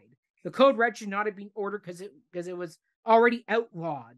Jessep because he was living on his own little island out there on cuba just said i'm going to do it my way. And you know consequences happen. So it's one of those things where, yeah, Ryan's right, or Georgia, I forget to say it, where it's like the moral argument really isn't there because the other side isn't given the teeth to actually give a fair argument. It's given one monologue at the end, and he's very quickly carted off hmm. after after he's like, already confessed to the crime yes. so he's yeah. cr- destroyed his own credibility exactly right when he makes that monologue exactly so it's one of those things where you know like yeah i mean like as i said like no the law never gets you know, second tier to national security. The law is first. We all are taught from day one of our lives. There are laws, there are rules to playing in, in the world and in the sandbox and in daycare and in school and in the workplace. There are rules and there are things in place that we all have to follow. And, you know, it's plain and simple. And, you know, it, it, it's one of those things where, no, just because you believe there is a problem doesn't mean you get to, you know, do what you want to do and you know tap into our cell phones or mm-hmm. you know throw somebody in Guantanamo and keep them there because they're the number three person in Al Qaeda, and if we let them out, they're gonna, you know, take the revenge on, on, America because of the way they were treated in Guantanamo. It's a whole thing. Actually is a really good documentary all about the whole what's what's the word they use? Not torture, but it's like extreme interrogation techniques where they talk about the guys who created it actually had no real clue about what they were doing and actually never experienced. They, they, they were guys who, you know, did psychological evaluations and went, well, you can push the person to here and it's okay according to our research. Where it's like, yeah, it's it's like no, you don't get to play cloak and daggers. Just follow the law and play the system. And you know, if you actually do your job, you won't have these problems where you got to go around the law. Just yes, Joe. I think just to add to that too, I think there there's this is with everything in society. It's mm-hmm. not just like attributed to mm. the characters we're talking about right now, but like I'm still always shocked and like mm-hmm. as I grow into being an adult, how misinformed and miscommunication, like miscommunication mm-hmm. and misinformation is present in day-to-day life and mm-hmm. in working facilities. Mm-hmm. Like I, and I think it, it's that's another kind of thing to unpack in this mm-hmm. show is like Kaffee has never he actually says the line of like there's a reason why someone of like my caliber is brought to this case, right? Mm-hmm. Because they're probably wanting me to lose because I don't have any idea what I'm doing. And then you have like Downey being like, he doesn't even understand and know ha- half of the terms that's going on in that mm-hmm. courtroom. Yet he is being trained to be a Marine and be of the same caliber as everyone else. Like there's a lot of like in society, I think everyone's like, okay, go, go, you're ready, you're ready. And I'm like, I'm I've always been the kid, and George has been in classes with me too, where like I raise my hand and ask questions. And mm-hmm. I would like to know what an answer is or what I'm doing because it's like mm-hmm. I want to be able to be the best that I can be. And I want to be able to play in mm-hmm. the same ring as everyone and be a good follower and be a mm-hmm. good leader. So I need to be trained or I need to be taught a certain way so that I can reach my potential and reach the potential of everyone else.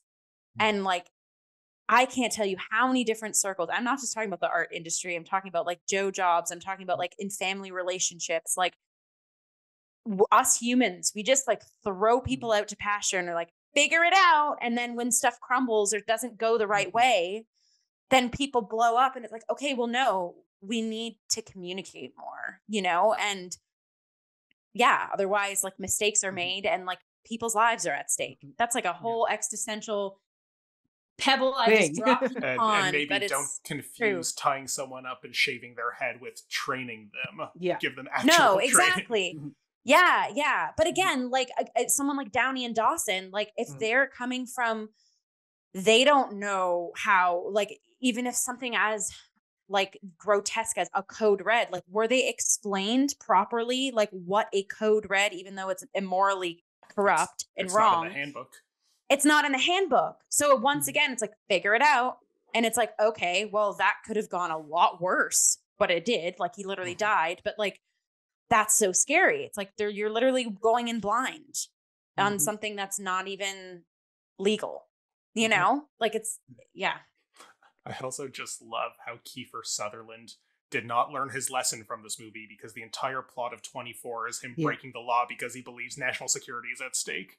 That mm-hmm. is every single episode of that show. That is All right, and on that note, let's yes. wrap it out, shall we? Because yeah. we can keep going on these moral debates and diving into American military systems and all that good stuff. But let's wrap it out here for the day, shall we? All right, mm-hmm. George, as our newest panelist, let you give your sign off first. Go ahead. Where can people find uh, follow you? Yeah, so you can find me on Instagram, George Alevizos underscore. So my full name underscore, and you can find me on Twitter, same username. Also, or it's called X now, not even Twitter. But anyway, you can find me on Facebook and you and I have a show coming out. I'm in the new Ooh. boy spinoff. I'm on Gen V, which is coming off on and coming out on September 29th on Amazon Woo. Prime. I'm in the mm-hmm. first episode, which I'm really looking forward to. Mm-hmm. And then, yeah, just uh, still doing my council work for ACTRA, which is the Film and TV Union, and for Equity, which is the Live Theater Union. And I'm looking forward to working more and talking to you guys more in future conversations. So Wonderful. for having me. Yeah. Wonderful. Jill, when can we find you on a Law and Order or a Murdoch Mysteries episode? Mac, you're telling me. I would love either of those things. If anyone's listening or watching, hire me. No, uh, yeah, you can follow me on Instagram at jillian.robinson96. As I mentioned earlier, I am back into doing Pinpin the Explorer, which is a shadow and live puppet show mm-hmm. happening at Red Sand Castle Theater. We just did our first weekend of August shows, and then we're going back to Red Sand Castle the last week of August. The audience is like primarily for babies and toddlers, but like parents and anyone is welcome to come too. Like everyone leaves the show feeling show. good. My uh, castmate, Jonah Villa, she plays Pinpin, the titular penguin, and I play all hmm. the other animal friends. So I am an ostrich, a crocodile, a turtle, a worm, a, a parrot, parrot, and I got everyone right, Ryan. Yeah, and myself. We have some interaction. Yeah. Anyways. And a boat. and a boat. Yeah. So it's super fun. We're also remounting again in October. And then in and between that, like I I'm looking forward to, yeah, auditioning more, getting my feet wet more with film and TV. Hopefully my short film I did in March will come out. But Ooh. stay tuned to my artist account and keep up with all things there. Yeah. Mm-hmm. mm-hmm. Ryan, give us a classic Ryan Borochovitz send out for uh, love. No need trying to find or follow me. I don't do much on social media, but if you like me and all my theater related opinions, you can just follow Cup of Hemlock. That's where they all live. It's at COH Theater on Facebook. Instagram and X for some reason. And eh, who knows, by the time this episode goes out, X might not even exist anymore. But eh, yeah, or you could, you know, subscribe to us on YouTube, follow us on all the podcast places. Hmm. You've been on the internet, you know how this works. Very good. And you can find follow me at Mackenzie Horner all social media platforms. You can follow all my musical antics over at Before the Downbeat, a musical podcast. We are finally releasing season five. And if you're wanting more courtroom drama fun, you can hear our whole episode all about the musical Parade, which has some very, which has a very big courtroom sequence toward the end of Act One that is very intense and has lots going on, and we get all into that as well. Other than that, yeah, just keep hanging in there. We got lots of good stuff planned. We got some duet reviews, some interviews, all that good stuff coming your way. And if you have a film adaptation you want to talk about, let us know. Send us a message, comment on the video. If you want to, you know, get in contact with us because you want us to see your show, go on down into the comments. The link is there too, where you can send us an email and let us know about your upcoming show and we can find a way to get involved with you. So there you go. All right, everybody. 10 Hut signing off. Adios, amigos. Stand the post Bye. on the wall. Bye. Bye.